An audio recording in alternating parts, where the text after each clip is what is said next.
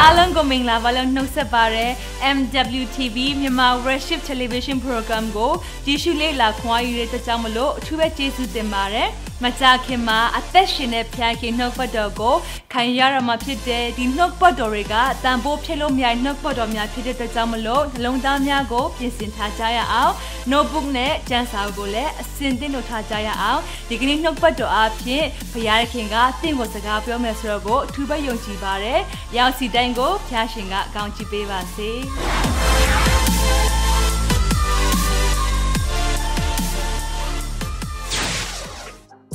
မင်္ဂလာပါအားလုံးကိုပြန်လည်ကြိုဆိုပါရစေအားလုံးပဲနေကောင်းကြပါသလား Good morning ပါအထူးသဖြင့် America အဖွဲ့တွေကမ္ဘာအနောက်ဘက်ခြမ်းကအားလုံးကို good morning ပါလို့နှုတ်ဆက်ပါရစေ Europe အဖွဲ့တွေအားလုံးကိုတော့ good afternoon ပါလို့နှုတ်ဆက်ပါရစေကမ္ဘာရှေ့ဘက်ခြမ်းကလူတွေအားလုံးကိုတော့အာ good evening လို့နှုတ်ဆက်ပါရယ်เนาะဒီနေ့အာကျွန်တော် online မှာ comment လေးတွေတွေ့တဲ့အခါမှာအနေနဲ့အရရက်ကသူတွေအများကြီးတွေ့ရတယ်เนาะဆိုတော့ကျွန်တော်မြို့ ဖတ်သွားမယ်လေเนาะဆိုတော့မြို့မြို့တွေနာမည်ခေါ်ပေးတဲ့အခါမှာကိုမြို့ပါသွားတယ်ဆိုရင်တော့ yay ဆိုပြီးတော့เนาะကြည်နေတဲ့သူတွေနဲ့အတူเนาะ chill လုပ်ရအောင်အာမင်ဆိုတော့ဒီနေ့အာမြန်မာနိုင်ငံကိုအရင်ဆုံးပြောမယ်ဆိုမြန်မာနိုင်ငံကဘယ်သူတွေရှိလဲဆိုတော့ရန်ကုန်ရန်ကုန်မှာအလုံးကရှိတယ်မင်္ဂလာဒုံအင်းစိန်မြောက်ဥက္ကလာ အာပြီးတော့တန်လျင်ကနေရှိတယ်နောက်တခြားလူတွေလည်းရှိပါလိမ့်မယ်အာကျွန်တော်နာမည်မပါသွားရင်ဒီနေရာကနေတောင်းပန်ပါတယ်เนาะအာပြီးတော့မြစ်ကြီးနားတောင်ငူတောင်ကြီးလွိုက်ကိုကွတ်ခိုင်မော်ဘီကျိုင်းတုံပြင်ဦးလွယ်မိုင်းပန်ဖအံမုံရွာဗမော်ဖားကန့်ကလေးမြို့မူဆယ်ကော့တောင်လာရှိုပူတာအိုပသိမ်ဝါပီ ပန်ဆန်းမျိုးတဲ့เนาะနောက်ပြီးတော့ဖောင်ကြီးကလည်းကြည့်နေတယ်မိုးကုတ်ကလည်းကြည့်တယ်နောက်ပြီးတော့ရခိုင်ပြည်တောင်ကုတ်မြို့ကနေလည်းအနောက်ကပတ်တော်ခံယူတဲ့သူတွေရှိနေတယ်ဒါကြောင့်အားလုံးကိုကြိုးဆိုပါရစေဒီနေ့မိတ်ဆွေသတိထားမိလားဒီနေ့အသင်းတော်ဆိုတာနယံလေးဖက်မှာပဲကာယံထားတဲ့အရာမဟုတ်ဘူးဒီနေ့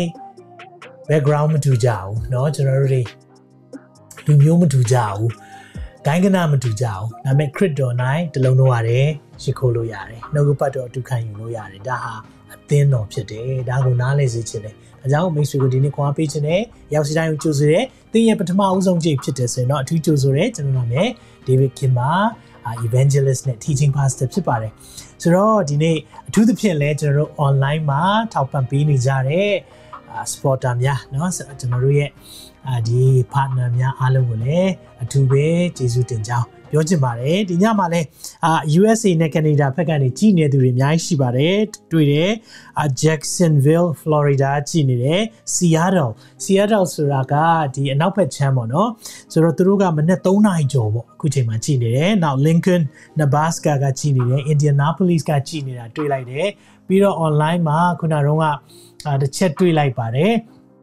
အာ Dallas ကနေကြည်နေတဲ့သူတွေလည်းရှိတယ်အားလုံးကြိုဆိုတယ်နော်ဒီနေ့ဘုရားရှင်သိကောင်းမြတ်တယ်အယံကောင်းမြတ်တယ်အာကျွန်တော်ဒါကြောင့်ဘုရားအကြောင်းပြောရမယ်ဆိုကျွန်တော်အယံရင်ခုန်တယ်အယံပျော်တယ်ဘာကြောင့်လဲဆိုတော့ဒီတရားရှိတဲ့ယုံကြည်သူအားလုံးနှုတ်ဘတ်တော်ကိုစာငတ်ကြတယ်တချို့တွေဆိုရင်ဒီအချိန်ကိုရောက်ဖို့စောင့်နေတယ်တချို့တွေဆိုရင်အိပ်ရေးပြက်ခံပြီးတော့မနှက်ထားကြည့်တယ်တမန်တရားကိုဝယ်ယူတာဖြစ်တယ်ဟာလေလုယာတမန်တရားကိုဝယ်ပါလို့ပြောတဲ့အခါမှာပတ်စံပေးရတာတခုပဲမဟုတ်ပါဘူး နော်ပတ်စံပေးတဲ့အရာပဲမမြင်ပါနဲ့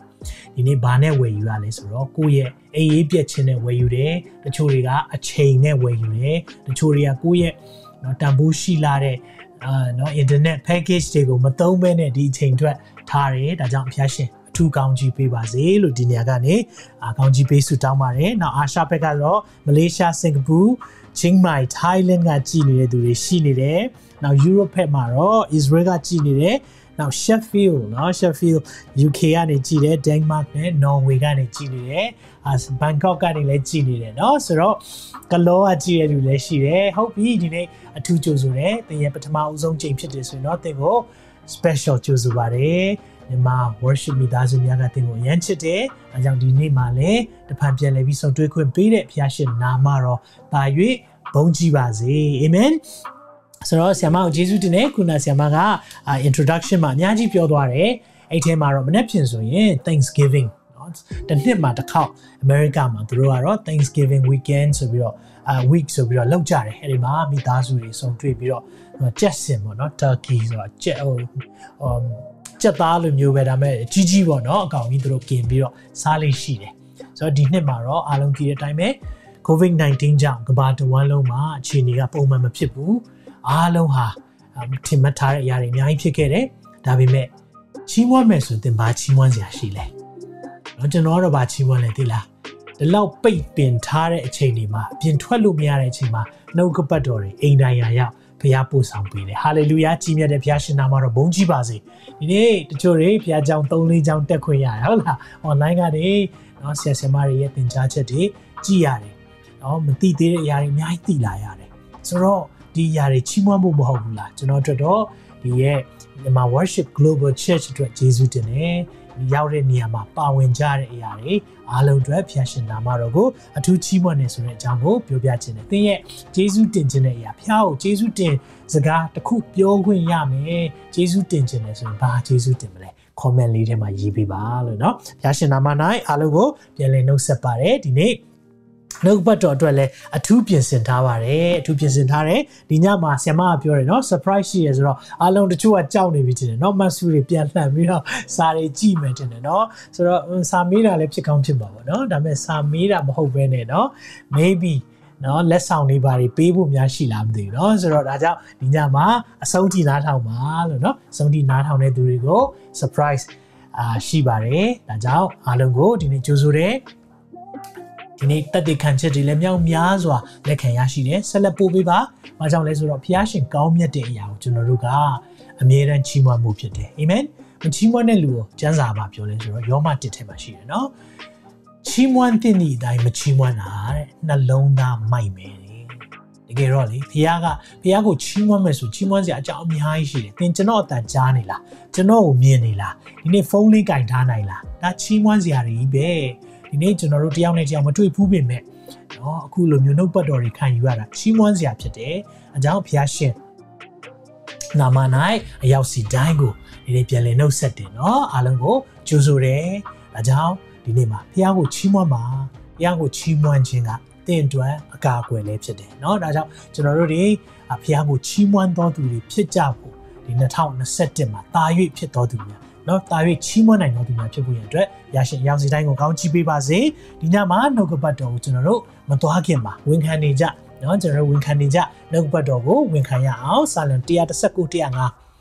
တင်းနှစ်သုံးနှုတ်ကပတ်တော်သည်အကျွန်ုပ်ခြေရှိမှမိခွက်ဖြစ်၍အကျွန်ုပ်လန်ကီကိုလင်းစေပါ၏တစ်ခါတော့ပြန်လည်ဝင်ခံရအောင်နှုတ်ကပတ်တော်သည်အကျွန်ုပ်ခြေရှိမှမိခွက်ဖြစ်၍ကျွန်ုပ်လန်ကီကိုလင်းစေပါ၏ဒီနေ့နှုတ်ကပတ်တော်အဖြစ်သင်လန်းလင်းမယ်သင်ဘာလို့ရမလဲဆိုတာဘုရားဖွင့်ပြမယ်သင် ဘယ်သွားရမလဲဖះညွှန်ပြလိုက်မယ်ဘယ်အချိန်မှလဲနှုတ်ကပတ်တော်ကိုမိခွက်အနေနဲ့ထားတဲ့အခါမှာအလင်းလင်းတယ်သင်ခြေတော့မှာအလင်းလင်းတဲ့အခါမှာသင်ဘာအန်ဒီတွေရှိလဲဘာဂျိုင်းတွေရှိလဲဘာတွေစူးညောင်းခရုတ်တွေရှိလဲဒီຢာတွေအားလုံးကိုအလင်းကပြသွားပေးတယ်အာမင်ဒါကြောင့်ယုံကြည်ပါတယ်ဒီညမှာလည်းကျွန်တော်ပြင်ဆင်ထားတဲ့ဒီຢာလေးနဲ့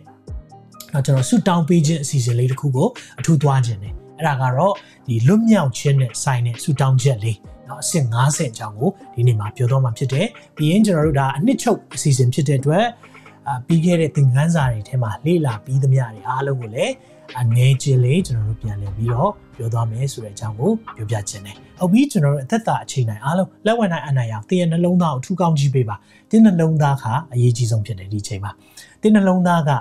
ဖခင်ရဲ့စကားအသံကိုကြားခြင်းနဲ့လက်ခံခြင်းနဲ့ဆိုရင်အဲ့ဒီနှုတ်ကပတ်တော်အမြဲတမ်းအပင်ပေါက်တယ်။။ ဘာကြောင့်လဲကောင်းသောမြေမှာကြာသွားတယ်။ဒါပေမဲ့တင့်နှလုံးသားဟာမာကြောနေမယ်။ဆိုရင်တော့ဒီနှုတ်ပတ်တော်ဟာအမြင့်ဆွဲနိုင်မှာမဟုတ်ဘူး။တင့်နှလုံးသားမှာလောကရဲ့ပူပန်ခြင်းဆိုတဲ့စူးတွေနဲ့ပြည့်နေမယ်ဆိုရင်တော့အပင်ပေါက်ရင်တော့မှအရိပ်မိန်အရိပ်အောက်မှာဖြစ်နေတဲ့အတွက်စူးပင်တွေရဲ့နှိမ့်ဆက်မှုဆိုတာလောကရဲ့ဖြစ်စီမှုဖြစ်တယ်ဒီရဲ့အခြေအနေမှာဆိုရင်တော့ဒီနှုတ်ပတ်တော်အပင်ပေါက်မှာမဟုတ်ဘူးပြီးရင်တော့ဒီရဲ့နှုတ်ပတ်တော်ဟာသင်လန်းတလားပြီးတော့သွားနေမယ်ဟုတ်လား လမ်းပေါ်ကျတဲ့မျိုးစေ့ဆိုတာသင်နှုတ်ကပတ်တော်ကိုလမ်းပေါ်မှာပဲခံယူတဲ့သဘောဒါကိုပြောတာဖြစ်တယ်။အဲကြောင့်နှုတ်ကပတ်တော်ခံယူတဲ့အခါမှာမှတ်စုမှတ်ပါ။တမန်ကျမ်းစာနဲ့ကြည်ပါ။နော်ဒီလိုမှတ်တဲ့အခါမှာဘာဖြစ်လာလဲဆိုတာလမ်းတလားနေတာမဟုတ်ဘူးဟုတ်လား။ကြုံလို့ကြည်တာမဟုတ်ဘူး။ဘာလဲမသိဘူးစိတ်ဝင်စားစရာကောင်းရဲ့လားဆိုပြီးတော့ကြည်တာမဟုတ်ပဲね။ဘုရားကကျမကိုကျွန်တော်ကိုစကားပြောမယ်ဆိုတဲ့ဒီခံယူချက်နဲ့ကြည့်ရဆိုရင်တော့သင်ရဲ့သင်ရဲ့နှလုံးသားကောင်းသောမြေဖြစ်တယ်။ နော်ကောင်းသောမြေမှာဆိုရင်တော့အစ30 60တရားမကအပင်ပေါက်တယ်။အာမင်။ဒါကြောင့်ခဏလောက်ကျွန်တော်အတွက်ဆုတောင်းပေးပါ။ဆက်ပစ္စည်းများအတွက်ဆုတောင်းပါ။သင်နှလုံးသားကိုတကားဖွင့်ထားဖို့ရန်အတွက်တန်ရှင်သောဝိညာဉ်တော်အလုံးလုံးခွင့်ပေးဖို့ရန်အတွက်ဒီနေရာကနေ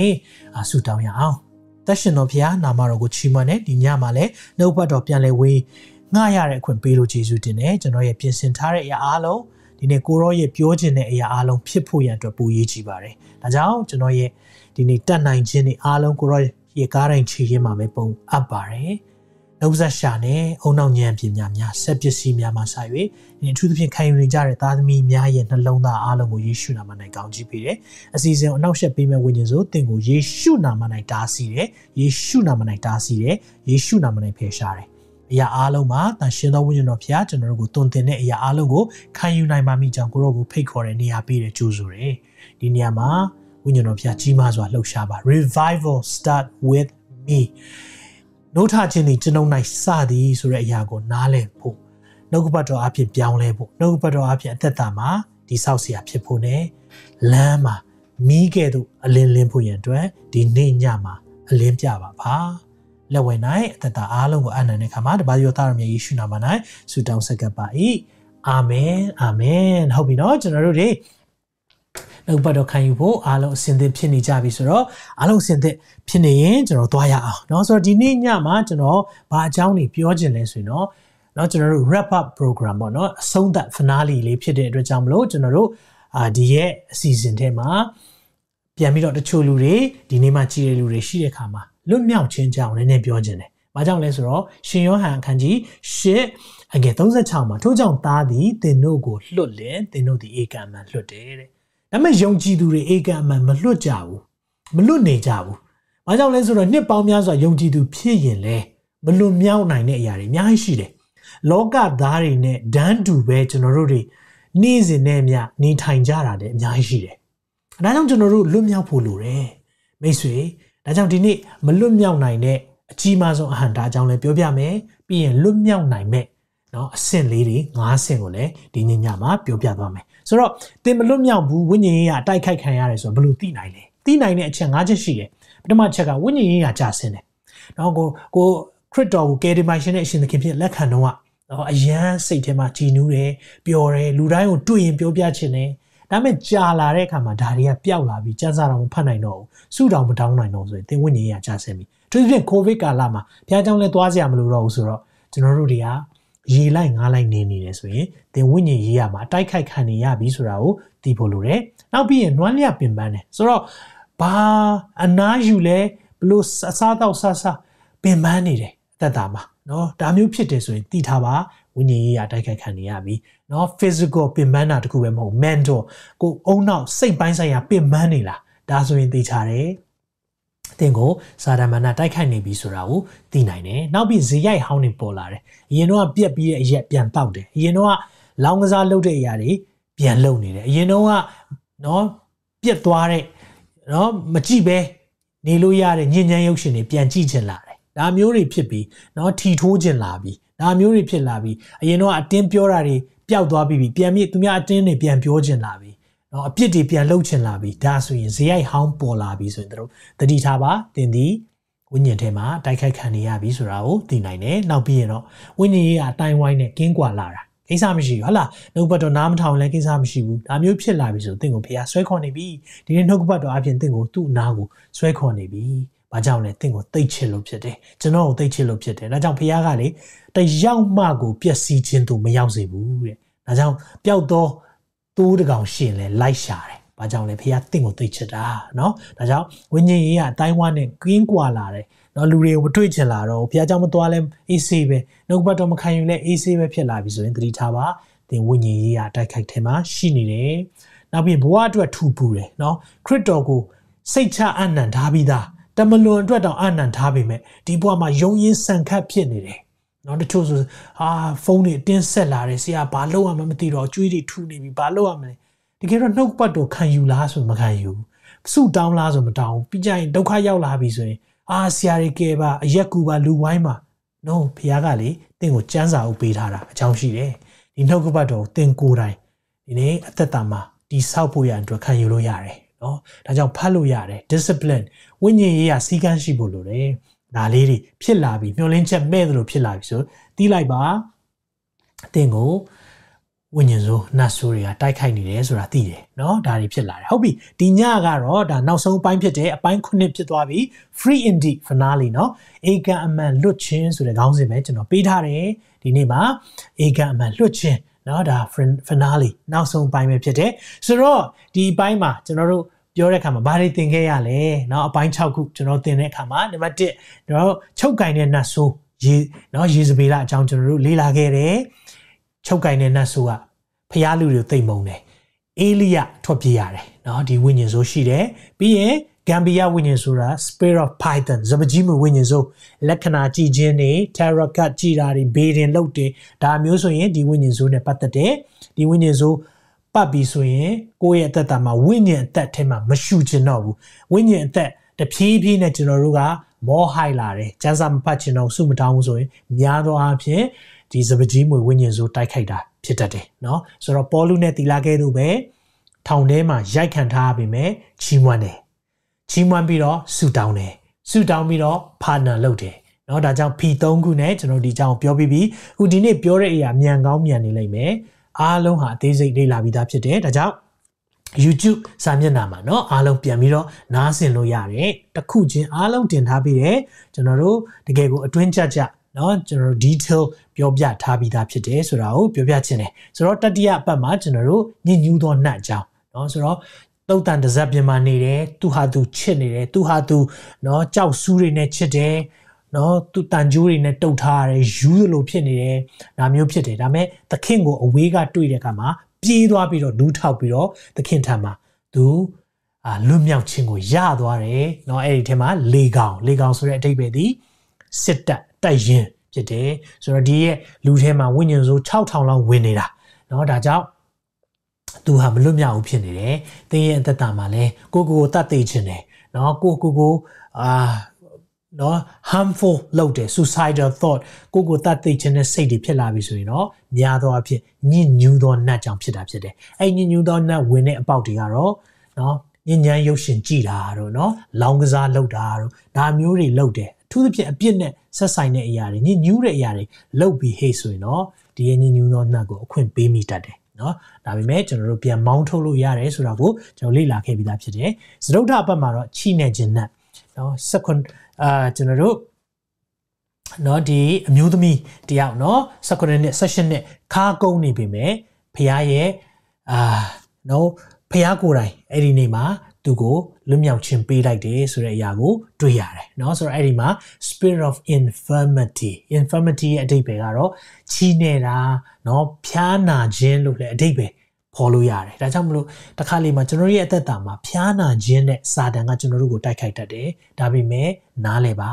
ဖခင်ကလွတ်မြောက်ခြင်းဧကမှန်ပေးနိုင်တယ်ဆိုတာကိုဒီဖို့လိုတယ်အာမင်ဒါလေးကိုကျွန်တော်တို့တွေလေ့လာခဲ့တယ်နောက်ဝင်ခွင့်မပြုပါဆိုတဲ့အရာနဲ့ပတ်သက်ပြီးတော့ကျွန်တော်တို့အာ episode 5အပိုင်း9မှာကျွန်တော်လေ့လာခဲ့တယ်စာတန်ကတကားဖွင့်ရင်ဖွင့်တာနဲ့ဝင်တာ။ဘာကြောင့်လဲခိုးမယ်တတ်မယ်ဖြတ်စီမယ်နော်သူ့ရဲ့ စာတန်ရဲ့တာဝန်အရေးသုံးပါရှိတယ်ခိုးမယ်တတ်မယ်ဖြတ်စီမယ်ဆိုတော့ तू ကတခိုးလိုပဲအမြဲတမ်းချောင်းနေတယ်တခိုးကအိမ်တကားဟပြီဆိုတာနဲ့ဝင်တာနောက်တခိုးကပဒင်းပေါက်လေးဟနေပြီဆိုတာနဲ့ဝင်တာကျွန်တော်တို့အဲ့လိုလုပ်လို့မရဘူးเนาะဒါကြောင့်တို့ကျွန်တော်တို့ရဲ့ဗိမာန်တော်ဖြစ်တဲ့ဒီအိမ်เนาะကျွန်တော်တို့ရဲ့ကိုယ်ခန္ဓာဟာဖခင်ရဲ့ဝိညာဉ် တော့ကျင်းဝတ်တဲ့တန်ရှင်းသောဝိညာဉ်တော်ကျင်းဝတ်တဲ့အိမ်ဖြစ်တယ်။အဲ့ဒီအိမ်ကိုစောင့်ရှောက်ထားဖို့လိုတယ်။တန်ရှင်းခြင်းနဲ့စောင့်ရှောက်ထားဖို့လိုတယ်။ဒါကြီးကိုကျွန်တော်တို့ကတကားဖွင့်ပေးလိုက်မိမယ်ဆိုရင်တော့အဲ့ဒီအချိန်မှာဝင်လာတတ်တယ်နော်။ဆိုတော့ကျွန်တော်တို့အဲ့ဒီနေ့တုန်းကမာနကြီးတဲ့အကြောင်းကိုပြောဖြစ်တယ်။ဆိုတော့ PG ရဲ့အသက်တာကိုလေ့လာခဲ့တယ်။သူလုံနိုင်တယ်ဆိုတဲ့ပုံမှာမာနဝင်တဲ့အခါမှာစာတန်ကသူ့ကိုစကားနဲ့စစ်မယ်ဆိုပြီးတော့သူ့ကိုအခွင့်တောင်းတဲ့အခါမှာသခင်ကခွင့်ပြုလိုက်တယ်နော်ဆိုတော့ဒီ ခင်ရှုကိုညင်းတယ်ဒါပေမဲ့စစ်မှန်သောနောင်တနဲ့ပြန်လာတယ်เนาะဆိုတော့အဲအကြောင်းကျွန်တော်လေ့လာခဲ့တယ်ယောဘဖြောင့်မတ်တော်သူဖြစ်တယ်ဒါပေမဲ့သူ့ရဲ့ဖြောင့်မတ်ခြင်းပေါ်မှာအယမ်းမိခိုးတဲ့အခါမှာနောက်ဆုံးမှာစာတန်ကဖျားရှိမှခွင့်တောင်းတယ်เนาะယောဘအခန်းကြီး1ငွေ6မှာပြောထားတယ်ဖျားရှိမှခွင့်တောင်းတဲ့အခါမှာဖျားခွင့်ပြုလိုက်တယ်เนาะခွင့်ပြုတဲ့အခါမှာသူရဲ့ပိုင်ဆိုင်မှုအားလုံးဖယ်ရှားတယ်တာသမီအားလုံးဖယ်ရှားတယ်အဲ့ဒီအချိန်မှာမှနောက်ဆုံးမှာမှဖျားက နောက်ဆုံးကောင်းကြီးနှစ်ဆပြန်ပေးတယ်ဆိုတဲ့အကြောင်းကိုတွေ့ရသလိုနောက်ပြီးတော့ကိုညံကိုအသုံးပြုပြီးတော့အမြဲတမ်းဖះကိုအာမကိုတဲ့အာကျွန်တော်တို့နော်အာဟတ်ဘယင်ကြောင်းလဲကျွန်တော်လေ့လာခဲ့တယ်ဒီမှာလဲသူ့ကိုသူ့သူ့ကိုအာနောက်ဆုံးစစ်ထဲမှာသွားဖို့ရန်အတွက် prophet တွေကိုဒီလိန်လေတဲ့နော် ဝိညာဉ်ဆိုးဖះခွင့်ပေးလိုက်တဲ့ခါမှာလိန်ညာတဲ့ဝိညာဉ်ဆိုးတွေက prophet တွေရဲ့ပါဇက်ထဲကနေစစ်သွားတိုက်ပါအောင်မြင်ခြင်းရမယ်ဆိုတဲ့စကားတွေထွက်လာပြီးတော့နောက်ဆုံးမှာတကယ်သွားတဲ့ခါမှာရှုံးနေသွားတယ်เนาะဆိုတော့ဖះခွင့်ပြုလိုက်တာဖြစ်တယ်เนาะဆိုတော့ဒီကြောင့်ကိုကျွန်တော်တို့အသေးစိတ်လေ့လာပြီးသားဖြစ်တယ်ပြီးရင်အာနာသားများเนาะဒီရဲ့နှုတ်ပတ်တော်ကအရင်ဘက်ကအာကျွန်တော်တို့ပြောခဲ့ပြီးသားဖြစ်တယ်မာသဲ18ထဲက ခွင့်မလွတ်ခြင်းเนาะဆိုတော့အသက်တာမှာခါတီးပြီးတော့ခွင့်မလွတ်တဲ့သူတွေဘာဖြစ်လဲဆိုရင်အာနာသားလက်အပ်ခြင်းခံရတယ်เนาะကျန်စာပြောထားတယ်ခွင့်မလွတ်ဘူးအဲဒါကြောင့်ကျွန်တော်တို့ကခွင့်လွတ်နိုင်ဖို့ဒီဘာလို့လဲဆိုတော့ဖရားရဲ့ခွင့်လွတ်ခြင်းကိုအရင်သိဖို့လိုတယ်ခွင့်လွတ်ခြင်းဟာတချို့ကပြောတယ်ဆရာမလွယ်ဘူးနော်တဲ့ကျွန်တော်ပြောမယ်လုံးဝမလွယ်ဘူးရှင်းရှင်းပြောမယ်ကိုယ့်ရဲ့နော်ဇာတိနဲ့စူးစမ်းကြည့်ကိုယ့်ရဲ့ခွန်အားနဲ့စူးစမ်းကြည့် impossible လုံးဝကိုမဖြစ်နိုင်တာခွင့်လွတ်ဖို့ဒါပေမဲ့ဂျေဇုတော်မှားစားတယ်ဖခင်ရဲ့ခွင့်လွတ်ခြင်းကိုသဘောပေါက်လာလေလေလူတွေကိုခွင့်လွတ်နိုင်ပြီ။ဒါကြောင့်မလို့80 9လီခွင့်လွတ်ပါလို့သခင်ကကျွန်တော်တို့မှာထားတာဖြစ်တယ်။ကျွန်တော်တို့ရဲ့နော်ကိုယ့်ရဲ့ကြိုးစားမှုလုံးဝမဟုတ်ဘူး။သခင်ရဲ့ပေးထားတဲ့ခွင့်လွတ်ခြင်းကိုနားလည်လာလေလေအဲ့ဒီရဲ့နားလည်လာတဲ့မေတ္တာအဲ့ဒီနားလည်လာတဲ့သခင်ရဲ့မေတ္တာနဲ့လူတွေကို ခွင့်လွှတ်နိုင်တယ်เนาะဒီအကြောင်းကိုကျွန်တော်တို့လေ့လာပြီးသားဖြစ်တယ်ဆိုတော့ဒီနေ့မှာတော့ဒီနေ့ညမှာဘာအကြောင်းပြောသွားမလဲဆိုရင်တော့ဧကမန်လွတ်ခြင်းရဲ့အနှစ်ချုပ်အကြောင်းကိုပြောသွားမယ်เนาะဆိုတော့ဒီမှာကြည့်တဲ့အခါမှာမေခွန်းတစ်ခုမေးချင်တယ်အဲ့ဒီမေခွန်းကဘာလဲဆိုတော့လွတ်မြောက်ခြင်းကိုဟန်တာသောအကြီးမားဆုံးသောအရာကဘာလဲဘယ်ဘယ်အရာကတင်းရဲ့လွတ်မြောက်ခြင်းကိုဟန်တာတယ်လို့ထင်လဲလွတ်မြောက်ခြင်း နော်ကျွန်တော်တို့မလွတ်မြောက်နိုင်ကြဘူးယုံကြည်သူတွေမလွတ်မြောက်ဘူးအဲတချို့ယုံကြည်သူဖြစ်လာတာနဲ့ပေါင်းများပြီတကယ်စစ်မှန်သောလွတ်မြောက်ခြင်းမရှိသေးဘူးနော်ဆိုတော့အဲ့ဒီလွတ်မြောက်ခြင်းဟန်တားနေတဲ့အရာရှိတယ်အဲ့ဒါဘာလဲဘာလဲဘာဖြစ်မယ်ထင်လဲအော်မယ်နော်တဲ့ဘာဘယ်အရာကကျွန်တော်တို့ဟန်တားတယ်သိလားချီနှောင်ခြင်းထဲမှာခံရနိုင်တယ်ဆိုတာမသိတာရဲ့အဲ့ဒီချီနှောင်ခြင်းထဲမှာခံရနိုင်တယ်ဆိုတာကိုလက်မခံတာရဲ့တချို့ကလေ အော်ဖို့သိကောင်းတယ်နော်အမှုတော်ဆောင်တွေချီနှောင်ခြင်းထဲမှာရောက်နေတယ်လို့လက်မခံနိုင်ဘူးဒါကြောင့်မလို့ကျွန်တော်ဒီနှုတ်ပတ်တော်ဟောတဲ့အခါမှာနော်ဖာရီရှဲဖာရီရှဲတွေဟာဒါတွေကဂျေစုတော်ကာလမှာရှိရှိတာမဟုတ်ဘူးတော့ဟာလားဒါတွေကလူရဲ့အသုံးမကျတဲ့အရာကိုစာတန်ကိုပဲအပြစ်ဖို့တယ်စာတွေမျိုးမျိုးရေးကြတယ်ကြပြားတွေမျိုးမျိုးရေးကြတယ်အဲ့ဒါဖာရီရှဲဝိညာဉ်စိုးလို့ခေါ်တယ်နော်ဖာရီရှဲနတ် ဖာရီရှဲနတ်တွေကဘာလုပ်တတ်လဲဆိုတော့ spirit of pharisee ဘာလုပ်လဲဆိုတော့သခင်ယေရှုရှိတော့လဲတောက်လျှောက်ထောက်တာဥပုံနေမှာဘာလုပ်တာလဲဟာလားပြီးရင်ဘာကြောင့်မလို့ဒါကိုလုပ်တာလဲမင်းရဲ့တပည့်တွေကဘာကြောင့်မလို့သူများရဲ့အစားအသောက်တွေစားတာလဲဘာကြောင့်မလို့အပြစ်သားတွေနဲ့ထိုင်နေတာလဲဘာကြောင့်မလို့ပြစ်ဒစာအမတွေနဲ့အဲဒီမှာအဖွဲဖွဲနေရတာလဲဘာကြောင့်မလို့အခွန်ခံနေနဲ့ပေါင်းရတာလဲအဲ့ဒါဘာတူလဲကျမ်းစာကိုသိကျွမ်းပါတယ်ကျမ်းစာသိပါတယ်ဆိုတဲ့ ဖာရီရှဲကျမ်းတက်ပုဂ္ဂိုလ်တွေဖြစ်တယ်မနေ့ယနေ့နောက်ကာလမပြောင်းလဲတဲ့အထဲမှာလေသခင်ယေရှုပဲမဟုတ်ဘူးเนาะအဲ့ဒီဖာရီရှဲတွေလည်းပါတယ်ဆိုတော့မနေ့ယနေ့နောက်ကာလမပြောင်းလဲတာသခင်ယေရှုပဲထင်တာဘယ်ဟုတ်မှလဲဖာရီရှဲတွေလည်းပါတယ်သူတို့လည်းမပြောင်းဘူးခရစ်တော်လက်ထက်ကလေးကခရစ်တော်ကိုလိုက်ထောက်ကျမ်းစာနဲ့လိုက်ထောက်တဲ့အဖွဲ့ဒီနေ့တည်းထောက်နေစေပဲ နော်ဝန်းနေဖို့သိကောင်းတယ်ဒါပေမဲ့ကျွန်တော်ဖာရီရှဲအကြောင်းမပြောတော့ပါဘူးเนาะဆိုတော့ဘာကိုပြောချင်တာလဲဖာရီရှဲဝိညာဉ်ဆိုဆိုတာတမန်တရားကိုသူ့ဟာသူဘာသာပြန်တယ်တမန်တရားကိုအာဘယ်နေရာမှာသုံးလဲဆိုတော့သူ့ရဲ့ကိုကြိုးအတွက်သုံးချတယ်เนาะဒါမျိုးလူတွေအတွက်ဆိုရင်เนาะနားလည်ပါသူတို့တမန်ကျမ်းစာကိုကြည်နေတယ်နှုတ်ကပတ်တော်တိတ်နားလဲတယ်ဖြစ်ပေမဲ့ နှုတ်ကပတ်တော်ကိုယ်တိုင်နှုတ်ကပတ်တော်အရှင်သူတို့ရှေ့မှာရောက်လာတာသူတို့မတွေ့ဘူးသူတို့သိရင်တော့လက်မခံနိုင်ဘူးငါတို့ရဲ့အာဏာတွေပျောက်သွားမှာပေါ့ငါတို့ရဲ့လောက်ရက်တွေပျောက်သွားမှာပေါ့ငါတို့ရဲ့လွှမ်းမိုးမှုတွေပျောက်သွားမှာပေါ့အဲ့ဒီစိတ်ဖြစ်နေတယ်ဆိုရင်လေကျွန်တော်ဒီနေ့မှာတင့်ကိုခွာပေးခြင်းတယ်ဖះရဲ့နိုင်ငံတော်အောင်မြင်တာဘသူကိုသွင်းကိုသွင်းတင့်တင်နိုင်တာပဲမဟုတ်လားအာမင် ဘ ဘယ်ဆရာပဲဂိုးသွင်းဂိုးသွင်းတခါလေကျွန်တော်တို့ကပြောင်းဒီဆရာအားဖြင့်အာဘုရားအသုံးပြုလို့ပြောင်းလဲတယ်လို့ကြားရင်မကျေနပ်ကြအောင်ဒါဆိုရင်လေဘာနဲ့တူလဲဆိုတော့ကိုရှေ့တန်းတိုက်စစ်မှုဂိုးသွင်းတာကိုထိုင်ကိုနေတဲ့အသင်းသားတွေနဲ့တူတယ်ဘယ်အသင်းသားအဲ့လိုလုပ်လဲဘယ်သူမှဆိုတာ team work ပဲမဟုတ်ဘူးလားเนาะဒီနေ့ဒါကြောင့်မလို့ကျွန်တော်နားလည်ဖို့လိုတယ်ဒါပေမဲ့ဒီဘုရားနှုံးစော်လို့နည်းနည်းပြောပြတာဖြစ်တယ်ဆိုတော့ ဒါကြောင့်ကျွန်တော်တို့အဲ့ဒီထဲမှာမပါရအောင်เนาะကျွန်တော်တို့လည်းအဲ့လိုမျိုးနေခဲ့ဘူးတယ်ရှိခဲ့ဘူးတယ်မတိလိုက်တဲ့အခါမှာ critical mind ဖာရီရှဲစိတ်ဓာတ်ဖြစ်လာတယ်နည်းနည်းလေးရေးကျင်တယ်ဆိုတော့ကိုယ့်ရဲ့ post ဆယ်ခုကိုကြည့်လိုက်เนาะနောက်ဆုံးကို Facebook မှာတင်တဲ့ post ဆယ်ခုကိုကြည့်လိုက်ဘယ်နှခုကအားပေးစကားပြောရရလဲဘယ်နှခုကသူများကိုထောက်တယ်ရလဲအဲ့ဒါကြည့်လိုက်ပါအဲ့ဒီအချိန်မှာတော့သင်ရဲ့အတွင်းစိတ်ကိုသင်မြင်လိမ့်မယ်เนาะအကယ်၍ကိုယ့်ရဲ့စိတ်ထဲမှာသူများကိုဝေဖန်ခြင်းစိတ်အယမ်းဖြစ်တယ်ဆိုရင်အဲ့ဒါဖာရီရှဲဝိညာဉ်ဆိုဖြစ်တယ်ပယ်ရှားပါ ဒီနေ့ဖခင်ကဒီနေ့ကျွန်တော်တို့ကိုချစ်တတ်တဲ့စိတ်တကူပါသောစိတ်ရှင်းလင်းသောစိတ်ပေးတယ်နော်ဒီနေ့သူများကို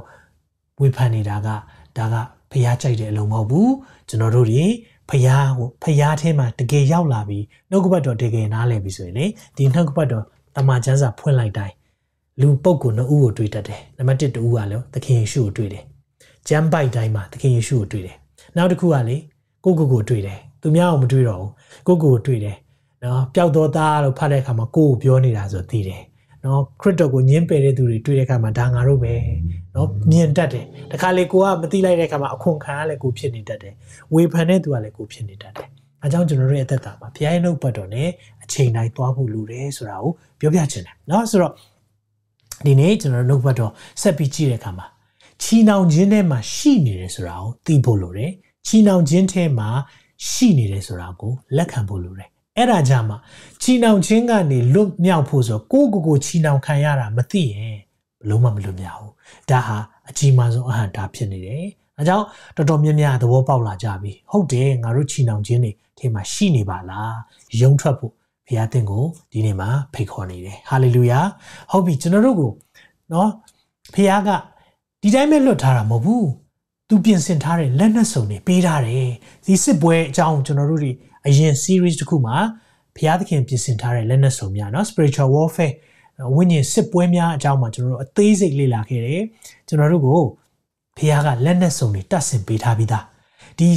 ဒီရဲ့ဝိညာဉ်ဇိုးတွေနဲ့တိုက်ဖို့မဟုတ်ဘူးဆိုရင်ဒါတွေဘာကြောင့်ရေးမှာလဲအဖက်เนาะခန်းကြီး6နောက်ပိုင်းမှာ10ကနေ18မှာကြည့်တဲ့အခါမှာအသွေးသားရှိသောရန်သူနဲ့ဆိုင်ပြိုင်တာမဟုတ်ဘူးတဲ့။ဘာနဲ့ဆိုင်ပြိုင်လဲအထွတ်အမြတ် အာနာဇက်လောကီမောင်မိုက်၌အစိုးတရားပြုတော်မယ်မိုးကောင်းကင်၌နေသောနတ်ဆိုးတဲ့ဒီ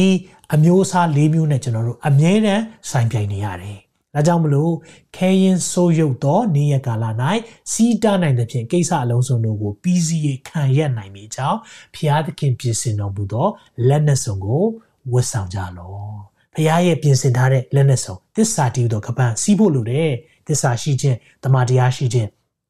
ဖြောင့်မတ်ခြင်းပါရမီတည်သောယေုဒစာရင်သက်ခြင်းနဲ့ရှင်သောအေဝံလိတရားဟောပြောသောငါပြည့်စုံသောဖြစ်သောခြေစွာ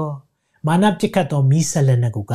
တတ်နိုင်သောယုံကြည်ခြင်းတိုင်းလွှားကိုကင်ဆွေးပါ။နော်ကယ်တင်ခြင်းတန်ခမောက်လုံးဆောင်းထားပါ။ဘုရားသခင်နှုတ်ပတ်တော်တည်တော်ဝင်ရိုက်တာဒါပဲမဟုတ်ဘူးကာလအစဉ်စိတ်လုံးပါလဲဆူတောင်းခြင်းဒီအရာတွေဘုရားဘာကြောင့်ပြင်ဆင်ပေးတာလဲဝိညာဉ်ဆိုးတကယ်ရှိလို့ပေါ့နတ်ဆိုးတွေတကယ်ရှိလို့ပေါ့ဒါကြောင့်ကျွန်တော်တို့ ချီနှောင်ခြင်းထဲမှာရောက်တတ်တယ်ရောက်နိုင်တယ်ဆိုတာကိုအရင်ဆုံးလက်ခံဖို့လိုတယ်လက်ခံပြီးတဲ့ခါကျမှကျွန်တော်တို့ဘယ်လိုယုံထွက်မလဲเนาะဒါကိုကျွန်တော်တို့လေ့လာခဲ့ပြီးသားဖြစ်တယ်ဒါကြောင့်ဒီနေ့မှာကျွန်တော်ဘာဘာနဲ့ကျွန်တော်ခွန်အားပေးခြင်းလဲဆိုတော့ဧကအမှန်လွတ်မြောက်ဖို့ရန်အတွက်ကျွန်တော်တို့အဆင့်50เนาะကျွန်တော်သွားဖို့လိုတယ်ဧကအမှန်လွတ်မြောက်ဖို့ free indeed ဖြစ်ဖို့ဒီအဆင့်50အရေးကြီးတယ်ဆိုတာကိုပြောပြခြင်းတယ်ဆိုတော့ဘာအဆင့်နေလဲတစ်ချက်လောက်ကြည့်ရအောင်เนาะ ဆိုတော့ဧကန်မြန်ဆူတောင်းခြင်းကျွန်တော်ဒီနေ့ဆရာမပြောတဲ့ surprise ဆိုတာတော့တခြားမဟုတ်ပါဘူးကျွန်တော်အာဆူတောင်းချက်เนาะဆူတောင်းကတ်လေးကျွန်တော်အားလုံးကိုလက်ဆောင်ပေးခြင်းတယ်เนาะအဆင့်50လုံးဒီနေ့အခုကျွန်တော်ပြောမယ့်အရာအားလုံးအာဒီအရာလေးလောက်ထားပေးတယ်ဘယ်လိုရနိုင်မလဲဆိုတာကိုကျွန်တော်အစီအစဉ်အပြီးလေးမှာပြောပြသွားမယ်เนาะဆိုတော့ဒီအရာလေးတွေကျွန်တော်တို့အာ print out လုပ်ထုတ်ထားပါတချို့ဆိုကတ်တွေလောင်းထားတယ်အရန်ကောင်းပါတယ်เนาะဆိုတော့ဒီမှာအဆင့်50လုံးကျွန်တော် ရေးထားပေးပါတယ်အာပိုစတာလေးလောက်ထားပေးပါတယ်ဒီရဲ့အဆင့်50လုံးနဲ့ကျွန်တော်တို့ သွားဖို့လိုတယ်เนาะဆိုတော့ဒီရဲ့လွတ်မြောက်ခြင်းဆုတောင်းချက်အဆင့်၅ဆင့်ကိုဒီနေ့ဒီနေ့ညမှာအထူးပြောပြသွားမှာဖြစ်ပါတယ်ဟုတ်ပြီကြည်ရအောင်နံပါတ်1အဆင့်ပါလဲနံပါတ်1အဆင့်အရေးကြီးဆုံးအဆင့်ပဲတကယ်အေကံအမှန်လွတ်မြောက်ဖို့ကဘာလို့လဲသိလားယေရှုဖျားကိုကယ်တင်ပိုင်ရှင်နဲ့အရှင်သခင်ဖြစ်ဝန်ခံဖို့လိုတယ် ဒါကတော့လွတ်မြောက်ခြင်းရဲ့အခြေခံဖြစ်တယ်ဆိုတော့တင်းရဲ့အသက်တာမှာဒီနေ့ဘာတွေရဲ့ချုပ်နှောင်ခြင်းတွေခံရလဲတင်းအတိဆုံးဖြစ်တယ်တချို့တွေမူရစေဝါကြီးကျွန်းဖြစ်နေတယ်တချို့တွေလောင်းကစားရဲ့ကြီးကျွန်းဖြစ်တယ်တချို့တွေညဉ့်ညမ်းရုပ်ရှင်တွေရဲ့ကြီးကျွန်းဖြစ်နေတယ်ဒီနေ့ဖះကလွတ်မြောက်ခြင်းပေးနိုင်လားပေးနိုင်တယ်ကျွန်တော်ပြောပြမယ်ဆုဒီနေ့သက်တည်ခံချက်ကျွန်တော်၄ခုကျွန်တော်ဒီနေ့ညမှာပြောပြချင်တယ်เนาะဆရာမပြောသွားပြီးပြီဒါပေမဲ့ဒီနေ့ ၄ခုပြောမယ့်အရာဆရာမကိုကျွန်တော်ပြောထားတယ်ကျွန်တော်ပြောချင်တယ်ဒီ၄ခုဘာကြောင့်လဲဆိုတော့ကျွန်တော်ရဲ့ teaching နဲ့ဓာတ်ရိုက်ဆက်ဆက်လို့ဆိုတော့ဒီလိုလွတ်မြောက်ခြင်းတွေလူတွေကမသိလိုက်တဲ့အခါမှာဂျေဇုတော်ကာလမှာဂျေဇုတော်အောက်မှာငါတို့ကအပြစ်တွေကလုံနေလို့ဘာမှမဖြစ်ဘူးမလားနောင်တရဖို့လိုသေးလားတချို့ဆိုပြောတယ်နောင်တရစရာမလိုတော့ဂျေဇုတော်ကာလမှာနောင်တရစရာမလိုတော့ ဒါဆိုကျွန်တော်မိကုန်းတစ်ခုမေးမယ်နော်အဲ့ဒီလူတွေရှိရဆိုရင်ဒါမှမဟုတ်ရင်တင်းရဲ့အတိုင်းဝိုင်းထဲကအဲ့လိုပြောတဲ့လူရှိရဆိုရင်ဒီမိကုန်းလေးပြန်မေးလိုက်ပါဗျာဒိတ်ဂျန်ထဲမှာအသင်းတော်9ပါးကိုသခင်ယေရှုကအဲ့အသင်းတော်9ပါးကိုစကားပြောတယ်သူတို့စီမှာစာရေးခိုင်းတယ်ရေးခိုင်းတဲ့အခါမှာရှင်ယောဟန်ကိုစာကိုယ်တိုင်ရေးပြီးတော့အသင်းတော်9ပါးကိုပို့တဲ့စာ9ဆောင်ထဲမှာ9ဆောင်အသင်းတော်9ပါးကိုပါသုံးလဲသိလားနောင်တရလော့နောင်တရလော့ repent အဲ့ဒီ repent ဆိုတဲ့စကားကိုဘာလို့သုံးတာလဲဒါเนาะ AD AD 90เนาะ AD 90ဆိုတာခရစ်တော်ရှင်ပြန်ထမြောက်ပြီးမှဖြစ်လာတာဂျေဇုတော်ကာလမဟုတ်ဘူးလားဒါဆိုဖះကိုယ်တိုင်နောင်တရပါလို့ဘာလို့ပြောလဲဘာကြောင့်လဲနောင်တရခြင်းလိုအပ်လို့နောင်တရခြင်းလိုအပ်လို့ဒါကြောင့်တင်နောင်တရစရာမလိုတော့ပါဘူးလို့ကျွန်တော်ညင်းကျင်တယ်ဆိုရင်ဒီမိခွန်းရင်ဖြေပါဘာကြောင့်မလို့သခင်ယေရှုခရစ်တော်ကအသင်းတော်ခုနှစ်ပါးကို ၅ပါးခုနှစ်ပါးတည်းက၅ပါးကိုနောင်တရပါလို့ဘာလို့ပြောလဲเนาะဒါဘာကြောင့်မလို့ပြောလဲတချို့ဆိုဘာပြောလဲနောင်တရပါမရဘူးဆိုမိခွက်ကိုနေရာရွှေ့မယ်နောင်တရပါမရဘူးဆိုရင်အသက်စာဆောင်ကနေစင်းပယ်မယ်เนาะလာဒါမျိုးတွေပြောတယ်နောင်တရပါเนาะနောင်တရပါနောင်တရပါတစ်ချိန်လုံးဘာလို့သခင်ကပြောလဲเนาะဘာကြောင့်လဲအသင်းတော်တွေမှာနောင်တရခြင်းလိုတယ်အဲကြောင့်မလို့ပြောတာဖြစ်တယ်เนาะဒါကြောင့် ဒီနေ့ဖះကိုကယ်ရီမိုင်ရှင်နဲ့အရှင်ခင်ဖြစ်လက်ခံထားတာမှန်လားမှန်တယ်ဒါကစစ်မှန်သောနောင်တရဲ့ပထမအဦးဆုံးခြေလှမ်းဖြစ်တယ်နော်စစ်မှန်သောနောင်တနဲ့ဖះရှိမှလာမယ်ကျွန်တော်ရဲ့အသက်တာကိုလာမယ်ဆိုရင်ဒီနေ့ယောမ19မှာပါပြောလဲအဘယ်သို့နည်းမူကားတင်သည်သခင်ယေရှုကိုဗာနဲ့ဝန်ခံရမလဲနှုတ်ဖြင့်ဝန်ခံ၍ဖះသခင်သည်သူ့ကိုတည်ခြင်းမှထမြောက်စေပြီဟုစိတ်နှလုံးနဲ့ယုံရမယ်နော် စိတ်နှလုံးနဲ့ပဲမရဘူးနှုတ်နဲ့ဝန်ခံရမယ်စိတ်နှလုံးနဲ့ယုံရင်ကယ်တင်ခြင်းသို့ရောက်လိမ့်မယ်ဒီအဆင့်ဒီအရေးကြီးဆုံးဆင့်ဖြစ်တယ်လွတ်မြောက်ခြင်းလွတ်မြောက်ခြင်းလိုချင်တဲ့သူတွေရဲ့အရေးကြီးဆုံးဖြစ်အဆင့်ဖြစ်တယ်ဒါဆိုရင်မယုံကြည်သူတွေနတ်ဆိုးဆွဲတဲ့သူတွေလွတ်မြောက်နိုင်သလားမေခွန်းရှိလာတယ်ဆိုတော့ယုံကြည်သူတွေဝိညာဉ်ဆိုးနှောက်ယှက်တဲ့သူတွေကိုလွတ်မြောက်ခြင်းအခွင့်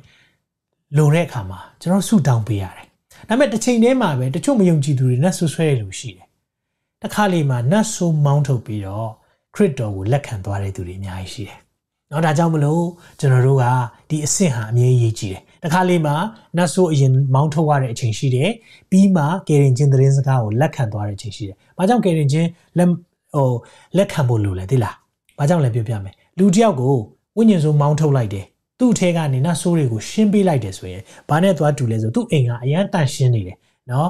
sweep ဆိုတာဓမျက်စီလဲထားတယ်တဲ့နော်ကျမ်းစာထဲမှာသခင်ယေရှုကိုယ်တိုင်ပြောတယ်ဆိုတော့ဝိညာဉ်ဆိုးက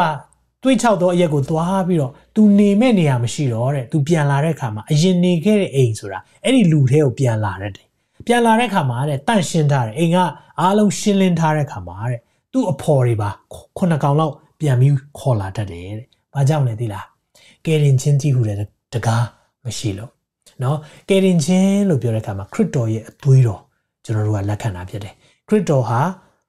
အသွေးသွင်းပြီးတော့လဝါးကားတိုင်းမှာကျွန်တော်တို့အတွက်အသွေးသွင်းပေးတယ်ပြီးရင်ကိုယ်တိုင်နော်သေခြင်းကိုကြုံရတယ်ဒါပေမဲ့သေခြင်းမှန်ကိုအောင်တယ်နော်သုံးရမြောက်သောနေ့မှာရှင်ပြန်ထမြောက်တယ်ဒါကြောင့်ဒီနှုတ်ကပတ်တော်ကဒါကိုပြောတာ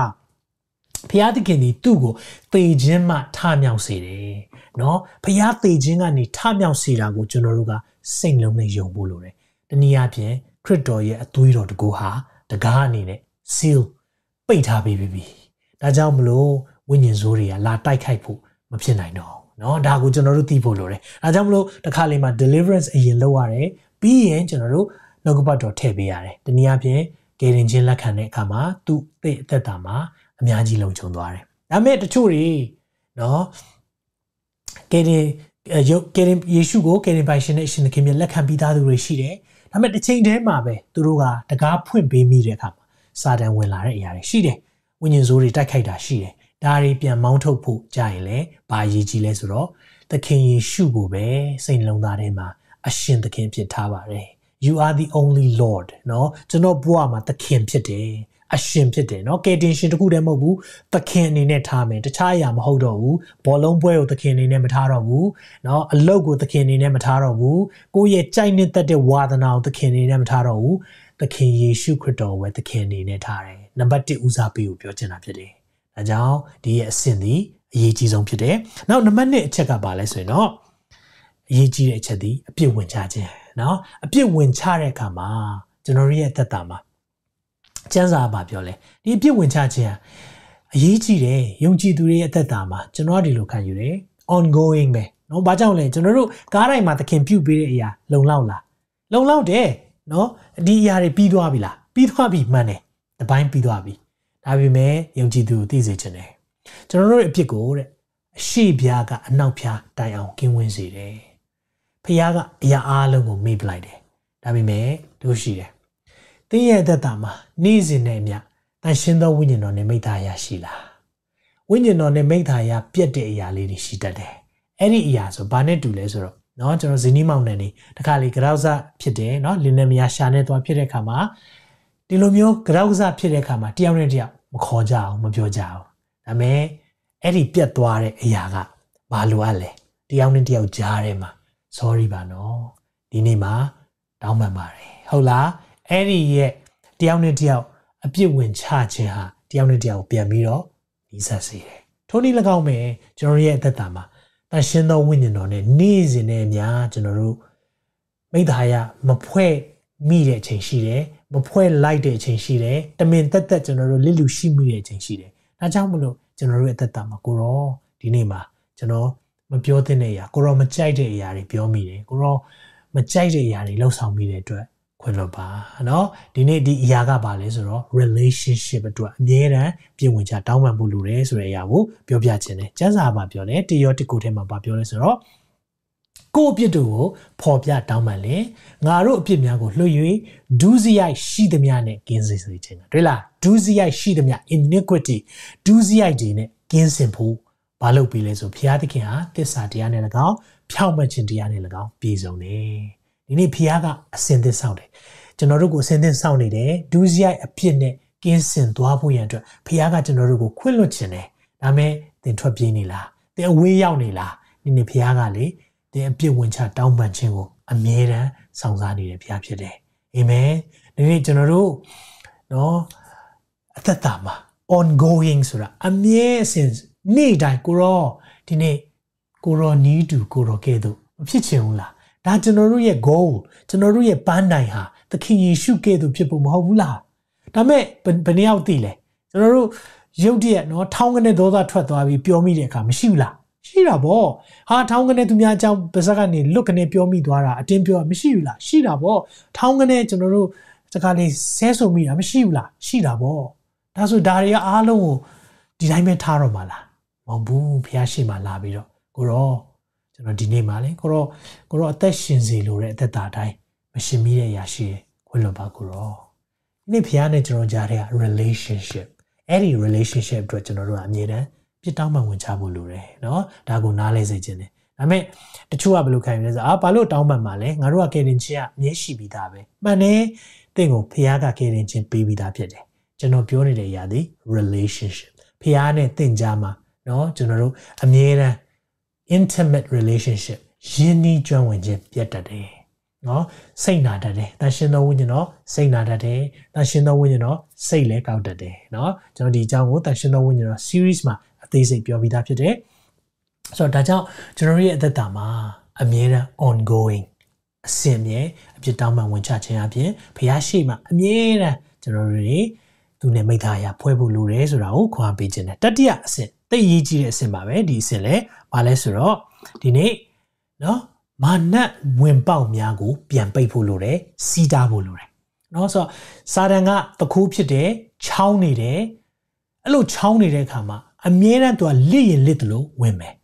ကျွန်တော်ဒီနေ့အပြစ်မလုပ်စေချင်တာတွေကျွန်တော်တို့နော်ခုနပြောသလိုနော်ကျွန်တော်ဥပမာတစ်ခုပေးမယ်ဆိုရင်နော်ညဉ့်ညမ်းရုပ်ရှင်ကြည့်တယ်နော်ဆိုတော့ porn ကျွန်တော် pornography တွေကြည့်တဲ့အရာဘာနဲ့တူလဲဆိုတော့ကျွန်တော်ပြောပြမယ် ဒီနေ့ဘာနဲ့တူလဲဆိုတော့ကျွန်တော်တို့အိမ်တကားလေးကိုလေ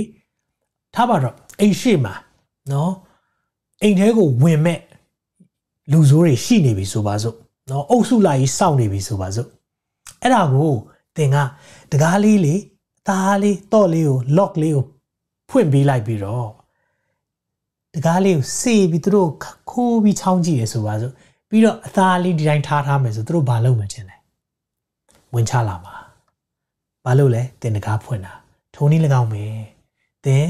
တောက်စားမှုရတဲ့အရာတွေကတကားလေးဖွင့်ပေးတာ ਨੇ တူတူပဲတင်ညဉ့်ညမ်းရုပ်ရှင်ကြည့်တဲ့အရာတွေကတကားလေးဖွင့်ပြီးတော့ဒီတိုင်းထားထားတာ ਨੇ တူတယ်မှတ်ထားပါအဲ့ဒီတကားအမြဲတမ်းဝင်လာမယ်ဒါပဲဘယ်သူမှကျွန်တော်တို့အဲ့လိုမျိုးတကားကြီးဟလာတကိုးရှိတဲ့နေရာမှာတကားလေးကိုနော်တကားလေးစိထားယုံလေးပဲမလုပ်ဘူးပြီးတော့ကျွန်တော်ခိုးချောင်းကြည့်ပြီးတော့တိထားယုံလေးမလုပ်ဘူးဘာကြောင့်လဲတခိုးဝင်မယ်ဆိုတာကိုသိတယ်ထုံနည်း၎င်းပဲ အရှင်သောဝိညာဉ်တော်ရဲ့ဗိမာန်တော်ထဲမှာကျွန်တော်တို့ဝိညာဉ်တော်ကျင်းဝတ်တဲ့နေရာကိုလေ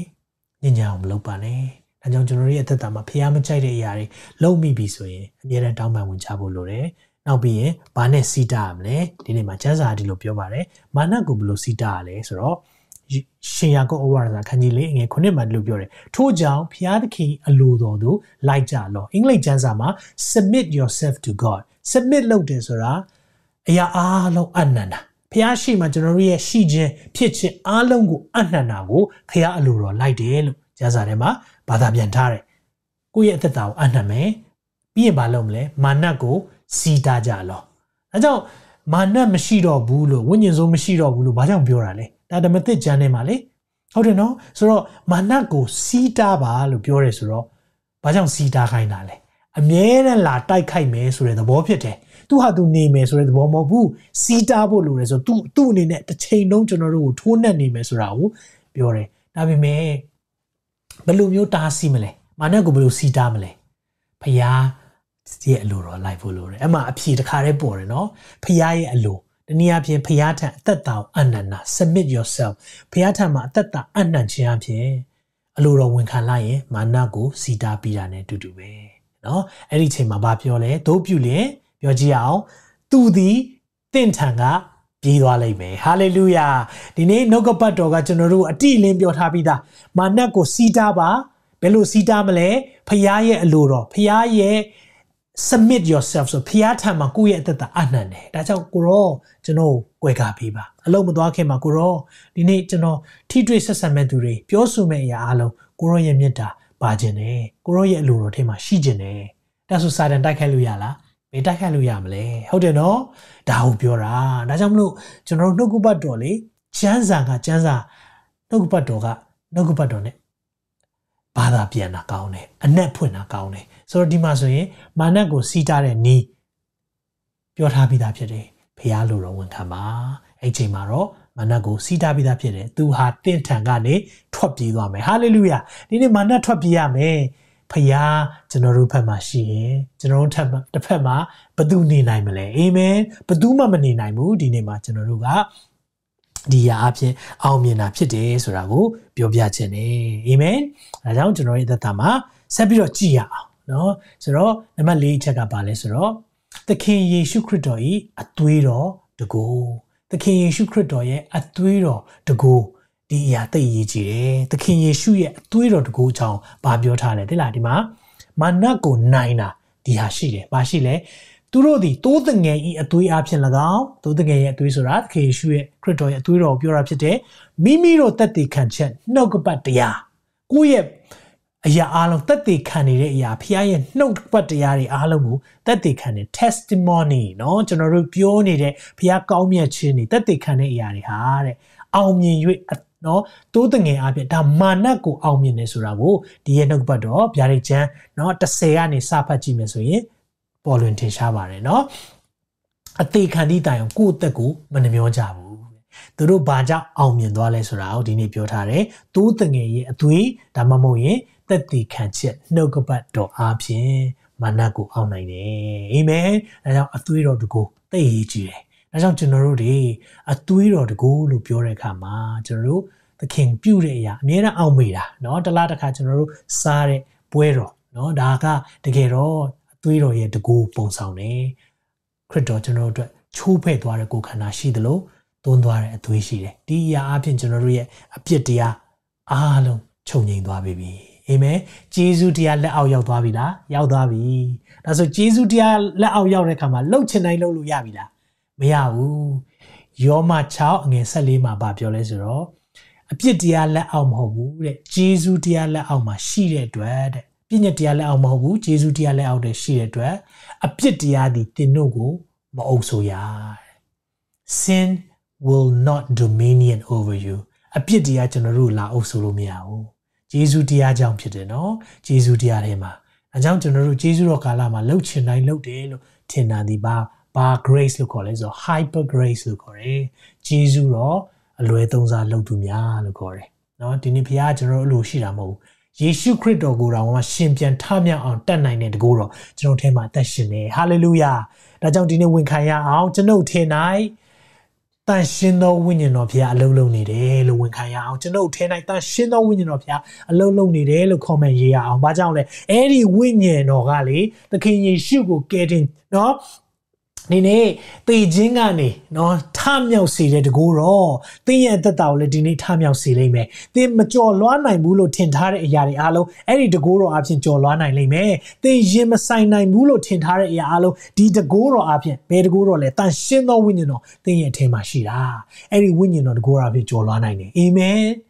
။ဒါကြောင့်ကျွန်တော်တို့တွေအပြစ်တရားလာအုပ်ဆိုးခွင့်လုံးဝမရှိဘူး။မာပဲရှိလေ။ယေရှုတရားတနည်းအားဖြင့်ဝိညာဉ်တော် ဝိညာဉ်တော်တရားကကျွန်တော်တို့ကိုပဲအုပ်ချုပ်နေတယ်ဒါကိုနားလည်ရအောင်ဟာလေလုယာဒါကြောင့်ကျွန်တော်ရဲ့သက်တာကိုဆက်လက်ပြီးတော့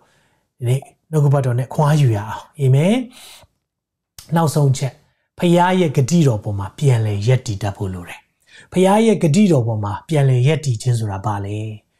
ဒီနေ့ဒီနှုတ်ကပတ်တော်ထဲမှာဖခင်ရဲ့ဂတိတော်ထောင်ပေါင်းများစွာပါဝင်တယ်เนาะဒီရအားလုံးကိုကျွန်တော်ချရေးမယ်ဆိုရင် စာရွက်မလောက်တော့ဘူးเนาะ PowerPoint မလောက်တော့ဘူးအချိန်မလောက်တော့ဘူးဒီနေ့မှာတင်ဒီဂတိတော်တွေအများကြီးတင့်အတွက်ရေးထားတာဖြစ်တယ်ကျွန်တော်အတွက်ရေးထားတာဖြစ်တယ်ဒီထဲကနေကျွန်တော်ဒီနေ့အထူးလွတ်မြောက်စေမဲ့နောက်ကပတ်တော့ခုနှစ်ခုကိုကျွန်တော်ရွေးထားတယ်เนาะဒါလေးကိုအာကျွန်တော်ဒီထဲမှာလည်းရေးထားပါတယ်အဲဒါမဲ့ကျွန်တော်ဒီမှာဖတ်ပြမယ်ကျွန်တော်အထူးတော့ဝန်ခံရအောင်เนาะအဲ့မှာတစ်ကနေခုနှစ်အထိ ကျွန်ုပ်သည်အောင်မြင်သောသူထက်အောင်မြင်သောသူဖြစ်တယ်ဟာလေလုယာဒါဖခင်ရဲ့ဂတိတော်ပေါ်မှာယက်တည်တာသင်ရှုံးနေဖို့ဘုရားလိုတော့မရှိဘူးသင်အပြစ်တရားရဲ့ဖိနှိပ်မှုဘုရားလိုတော့မရှိဘူးကြောက်ချင်းစိတ်ဘုရားမပေးဘူး spirit of fear ဆိုတာကြောက်တတ်တဲ့စိတ်တွေဘုရားမပေးဘူးတကူပါသောစိတ်ချစ်တတ်သောစိတ်ရှင်းလင်းသောစိတ်ဒီနေ့အောင်မြင်သောသူထက်အောင်မြင်သောသူဖြစ်ဖို့ဘုရားလိုတော့ရှိတယ်ကျွန်ုပ်သည်ဧကအမှန်လွတ်မြောက်တော်သူဖြစ်တယ် hallelujah whom the sun set free it is free indeed လုံးဝကိုလွတ်မြောက်တော်သူဖြစ်တယ်အာမင်ပြီးရင်ကျွန်ုပ်သည်ထာဝရအချစ်နဲ့အခြေခံရတော်သူဖြစ်တာဖခင်အသင်ကိုချစ်တာလေโอเคချစ်တယ်ဟုတ်ပြီပြီးကြတော့အေးအမေအပြစ်လုပ်တယ်ငါမချစ်တော့ဘူးအဲ့လိုမဟုတ်ဘူးဒီနေ့ဖခင်ကအဲ့ဒီအပြစ်ထဲကနေလုံးဝလွတ်မြောက်စေခြင်းနဲ့ဒါပေမဲ့သူ့ကိုအားကိုးဖို့လိုတယ်ဟာလေလုယာပြီးရင်ကျွန်ုပ်တစ်ဖက်၌ထသောလက်နက်များအထမမြောက်ရလက်နက်တွေကတော့ထတော့ထမယ် no weapon form against me will prosper တဲ့သူတို့က form လုပ်တယ်ဆိုတာတတ်ဆင်တဲ့အဆင့်တော့ရောက်တယ်ဒါပေမဲ့ကြည်စံမထွက်ဘူးနော်ထမြောက်တယ်ဆိုတော့ကြည်စံပြစ်လို့မရဘူးနော်သူတို့လက်နဲ့တော့တတ်ဆင်ကောင်းတတ်ဆင်နိုင်မယ်ဒါပေမဲ့ကြည်ကြည်မပေါက်ဘူးဘာကြောင့်လဲဖခင်ကျွန်တော်တို့ဖက်မှာရှိတယ်ကျွန်ုပ်တစ်ဖက်၌ထတော့လက်နဲ့များအထမမြောက်ရဘူးပြီးရင်မပြောသေးလေဆိုတော့ဖခင်သခင်ထားသောအကြံစီများကျွန်ုပ်ဘဝမှာပြည့်စုံပြီကျွန်ုပ်ဘဝမှာပြည့်စုံပြီဖခင်တင့်မှာ တင့်ကိုထားတဲ့အကြံစီရှိတယ်ဒီနေ့မှိုင်တိုင်တိုင်မနေနဲ့နင်းအရှုံးသမားလို့မနေနဲ့ဘာကြောင့်လဲဖဖခင်ရဲ့အကြံစီတင့်ထံမှာမအားလုံးမပြီးသရွေ့နော်အဲ့ဒီအရာပေါ်မှာတင်တာဝန်ရှိနေတယ်နော်ဒီနေ့ဖခင်ကကျွန်တော်တို့ကိုချစ်လာချစ်တယ်ကျွန်တော်တို့အတွက်သူများနဲ့မတူတဲ့အကြံစီရှိလားရှိတယ်ဒါပေမဲ့အဲ့ဒီအကြံစီကိုကိုယ်တိုင်ရှာတွေ့ဖို့လိုတယ်ရှာဖို့လိုတယ်ဘယ်လိုရှာရမလဲ ဒီအကြံစီကိုပေးတဲ့သခင်စီမှာချင်းကပ်ပြီးကိုရောကျွန်တော်ကိုလူဖြစ်စေတာဘာကြောင့်လဲကျမကိုလူဖြစ်စေတာဘာကြောင့်လဲကိုရောကျွန်တော်ကျမအသက်ရှင်တာဘာအတွက်လဲအဲ့ဒီမိခွန်းကိုဘုရားစီမှာအမြဲမေးဖို့လိုတယ်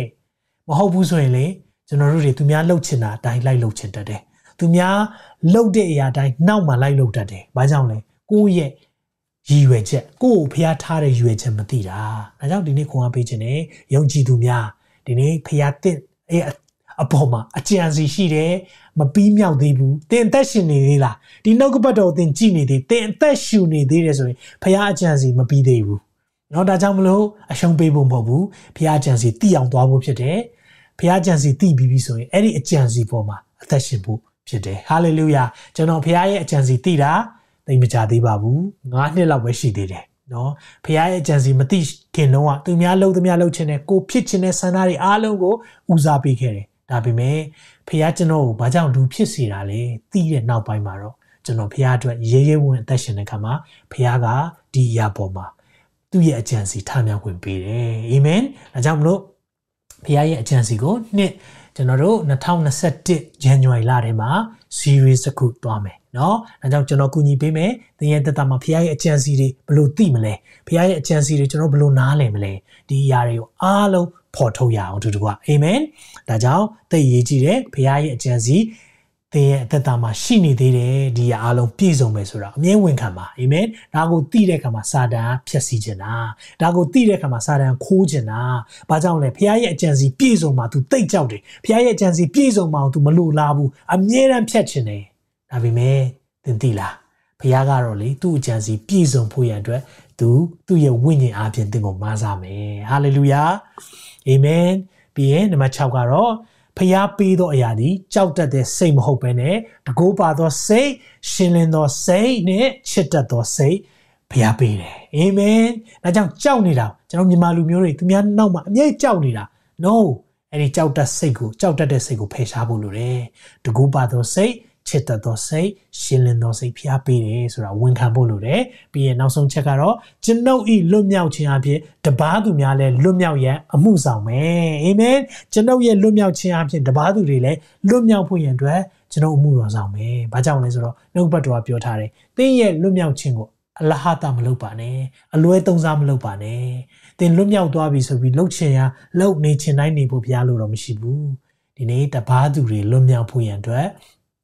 သင်ရဲ့လွတ်မြောက်ခြင်းကိုအသုံးပြုပါအာမင်ဒါကြောင့်ခုဝန်ခံရအောင် comment ထဲမှာသူတစ်ပါးလွတ်မြောက်ရန်ကျွန်ုပ်ဤလွတ်မြောက်ခြင်းကိုအသုံးပြုမိဟာလေလုယာသူတစ်ပါးလွတ်မြောက်ရန်ကျွန်ုပ်ရဲ့လွတ်မြောက်ခြင်းကိုအသုံးပြုမိအာမင်သင်လွတ်မြောက်တဲ့အခါမှာလူတွေကသိချင်လာတယ်ဘာကြောင့်နေအရန်ပြုံးနိုင်တာလဲဘာကြောင့်နေအရန်ပျော်နေတာလဲဘာကြောင့်နေအသက်တာမှာအမြဲတမ်း positive အပေါင်းလက္ခဏာဆောင်တာလဲလူတွေသိချင်လာတယ်ဘာကြောင့်မှမဟုတ်ဘူးအထဲကအသက်ရှင်တဲ့ခရစ်တော် ကျွန်ုပ်ရဲ့အထဲ၌ခရစ်တော်အသက်ရှင်တာအာမင်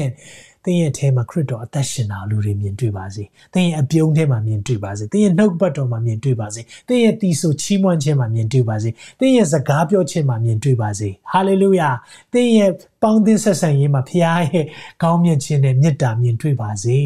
အာမင်ဟာလေလုယာဒီနေ့ဖခင်ကလေ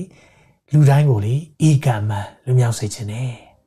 အေကံမှလွတ်မြောက်စေခြင်းနဲ့တင့်အသက်တာမှာလွတ်မြောက်ခြင်းဖို့ရလိုတယ်နော်ဒီနေ့လွတ်မြောက်ခြင်းတဲ့လူတွေလွတ်မြောက်သွားတဲ့အရာတွေတက်တည်ခံချက်တွေကြားရတယ်။ဘာပြောလာလဲဆိုတော့ဒီကနော်အာညီမငယ်တယောက်ကတက်တည်ခံတယ် There is power in the name of Jesus break every chain ဆိုတဲ့တခြင်းကိုတဲ့သူချီးမွမ်းတဲ့အခါမှာမျက်ရည်ကျလာပြီးစက်သိမ်းနေထားတယ်ဆရာဆရာနဲ့ဆရာမတက်တည်ခံခြင်းပါတယ်ကြီးမားတယ်လို့ထင်ထားတဲ့အရာကနေလွတ်မြောက်ခဲ့ပါပြီတဲ့ သူမလွတ်မြောက်ဘူးလို့ထင်ထားတဲ့အရာနေလွတ်မြောက်ခဲ့ပါပြီဖျားသခင်ဂျေဇုတော်ကြောင့်ဆရာပြောသလိုပဲတီးတိုးဆူတောင်းမိတယ်ဘဝကကားတစ်စီးဆိုယေရှုပဲမှောင်းတင်ပေးပါမကောင်းတဲ့အတွေးတွေဝင်လာတိုင်းသခင်ယေရှုကယ်တင်ပေးပါလို့အထက်ထက်អော်နေလိုက်တယ်အိမ်မက်ဆိုးတွေမမတ်တော့ဘူးဆက်လက်ပြီးတော့ဆူတောင်းပေးပါဦးတဲ့တခြားအာကိုခံစားရတယ်လို့ပဲတခြားညီကိုမောင်နှမတွေရှိမှလွတ်မြောက်ခဲ့တာကိုလည်းပြန်လေသက်သေခံချင်ပါတယ်ဟာလေလုယာဒီနေ့လေ သက်သေရှိတယ်မိတ်ဆွေလွတ်မြောက်တဲ့သူတွေကတက်တည်ပြုနေတယ်ဖျားရှင်လွတ်မြောက်ခြင်းပေးတယ်ဆိုတော့သူတို့တက်တည်ခံနေတယ်ဒီမှာညီငယ်တယောက်ကဗာရေးထားလဲဆိုတော့နော်မင်္ဂလာပါဆရာနဲ့ဆရာမဆရာမတို့ရဲ့လမ်းညွှန်ချက်တိုင်းကျွန်ုပ်ရဲ့အသက်တာမှာအပြည့်ဝင်ချတောင်းပန်ပြီးယေရှုခရစ်တော်ကိုမိမိရဲ့ကယ်တင်ပိုင်ရှင်အရှင်သခင်ဖြစ်ယုံကြည်ဖိတ်ခေါ်လက်ခံလိုက်တဲ့အခါမှာအသက်တာထဲမှာဘယ်တော့မှလွတ်မြောက်တော့နိုင်မယ်လို့မထင်ထားတဲ့ ညဉ့်ညမ်းသော porn video ကြည့်ခြင်းကနေဖျားရှင်ကလွတ်မြောက်ရတဲ့အခွင့်ပေးခဲ့ပါတယ်။ hallelujah hallelujah amen praise the lord တဲ့သူရေးထားတယ်။အရင်တုန်းကဆိုရင်လူအများနဲ့နေနေတဲ့အခါမှာတော့ခိုးခိုးပြီးကြည့်တယ်။ လူအများရှိနေခြင်းတော့ခိုးခိုးပြီးကြည့်မကြည့်ပဲမနေနိုင်ဘူးအခုဆိုရင်တယောက်တည်းပဲနေနေတာတော့ကြည့်ကျင်စိတ်မရှိတော့ဘူးအာမင်အချိန်တိုင်းမှာဘုရားသခင်ကိုပဲအပြစ်ဝင်ချတောင်းပန်ပြီးချီးမွမ်းနေခြင်းတော့တယ်စစ်မှန်သောလွတ်မြောက်ခြင်းရဲ့အရသာအယံကိုပေါ့ပါခြင်းရှိတယ်ငြိမ်သက်ခြင်းရှိတယ်လွတ်မြောက်ခြင်းပေးတော်ဘုရားရှင်နာမတော်ကပါဆက်ဆက်ဘုန်းကြီးပါစေအာမင်ကျွန်တော်နာမည်မပြောတော့ဘူးเนาะဒါမဲ့ဒီမှာညီငယ်တယောက်ညီမတယောက်ဒီနေ့ ကျွန်တော်တစ်ခါလေကြာရင်လေဒီရဲ့ညဉ့်ညမ်းတဲ့အရာတွေကလေအမျိုးသားတွေပဲလို့ထင်တာအမျိုးသမီးငယ်တယောက်စာရေးလာတယ်အင်္ဂလိပ်လိုရေးလာတယ်။ဘာရေးလာလဲဆိုတော့အာ I used to be a hypocrite hypocrite ဆိုတာပြောတာတခုလုပ်တာတခုဖြစ်နေတယ်။အာပြီးတော့သူကပြောလဲဆိုတော့ fornicator ဆိုတာညဉ့်ညမ်းစွာလှုပ်ကျင့်ကြံသောသူ addicted to pornography until March 2020 March လ2020တိကျွန်မညဉ့်ညမ်းရုပ်ရှင်ဆွဲတယ်တဲ့ ကလေးမလေးနော်ပြောပြတယ်အဲ့မှာသူဘာပြောလေးသေးလဲဆိုတော့အဲ့ဒီမှာသူစတင်ပြီးတော့တန်ရှင်းသောဝိညာဉ်တော် Holy Spirit series ကိုစပြီးတော့မြန်မာ worship ရဲ့ထုတ်လွှင့်ချက်ကိုစကြည့်မိတယ်အဲ့ဒီကြည့်မိတဲ့နောက်ပိုင်းမှာ ဝိညာဉ်တော်ဖះဘလောက်ဝမ်းနေတယ်လဲဝိညာဉ်တော်ဖះကျမအထက်မှာဘလောက်ဝမ်းနေသေးလဲဆိုတာနေ့စဉ်ခံစားပြီးတော့အဲ့ဒီမှာဖះကိုအသက်တာအနန္တခါမှာတဲ့ I really hate watching porn အဲ့ဒီလိုညဉ့်ညမ်းရုပ်ရှင်ကြီးကြည်တာကိုတိတ်မုန်းသွားပြီးတော့တဲ့ I no longer did fornication မတန့်ရှင်းတဲ့အရာတွေကျမမလုပ်တော့ပါဘူးတဲ့ The Holy Spirit changed me completely into a new one ကျမကိုတန့်ရှင်းသောဝိညာဉ်သားအသစ်ပြုပြင်လိုက်ပါတယ် I really felt the love of God that time ကျမရဲ့ partner နဲ့လည်းလမ်းခွဲလိုက်ပါတယ်တဲ့နော် my boyfriend နဲ့လည်းသူလမ်းခွဲတယ်တဲ့ we pray together about our sin and no longer did this wicked thing ကျမတို့အတူတကွဆူတောင်းပြီးတော့ညဉ့်ညမ်းတဲ့အရာတွေလုံးဝမလုပ်တော့ပါဘူးတဲ့အဲ့လိုပြောလာပြီးတော့သူဘာပြောလဲဆိုတော့အဲ့ဒီမှာ soap method နဲ့နှုတ်ပတ်တော်လေ့လာခြင်းတွေကိုကြည့်တဲ့အခါမှာပို့ပို့ပြီးသူ့ရဲ့တတတိဆောက်မှုဖြစ်တယ် Thank you ဆရာဆရာမ I will testify this testimony at my church next week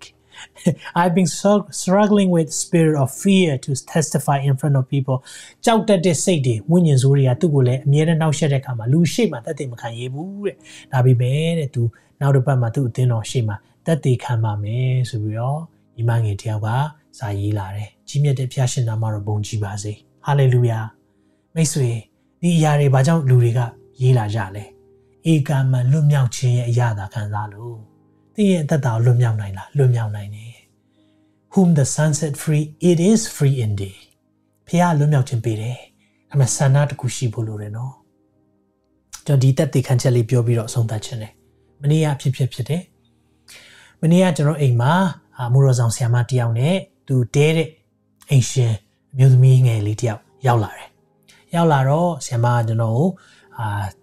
စကားတွေပြောရင်းနဲ့ဆူတောင်းခံတယ်အိမ်မှာ သူလည်းဒီနယ်မြေထဲမှာအင်္ဂလိပ်တရားတွေဟောဖို့သူလာတယ်အဲ့ဒါနဲ့ကျွန်တော်ဆူတောင်းပေးပြီးတော့ဘုရားရဲ့ဝိညာဉ်တော်ဘုရားနိုးစော်တယ်အဲ့ဒီကလေးမလေးကိုဆူတောင်းပေးဖို့လိုတယ်ဆိုဆူတောင်းပေးဖို့ပြောတာ ਨੇ ဘုရားရဲ့ဝိညာဉ်တော်နိုးစော်တယ် spirit of depression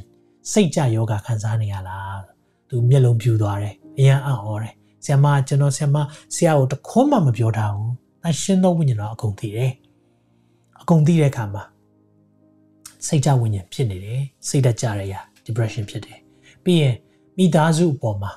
သူတစ်ပါးရဲ့ကျင်ချင်းတွေခံရတဲ့အရာတွေဘုရားဖော်ပြတဲ့အခါမှာအကုန်ပြောတဲ့အခါမှာသူဘာမှညင်လို့မရဘူး။ तू က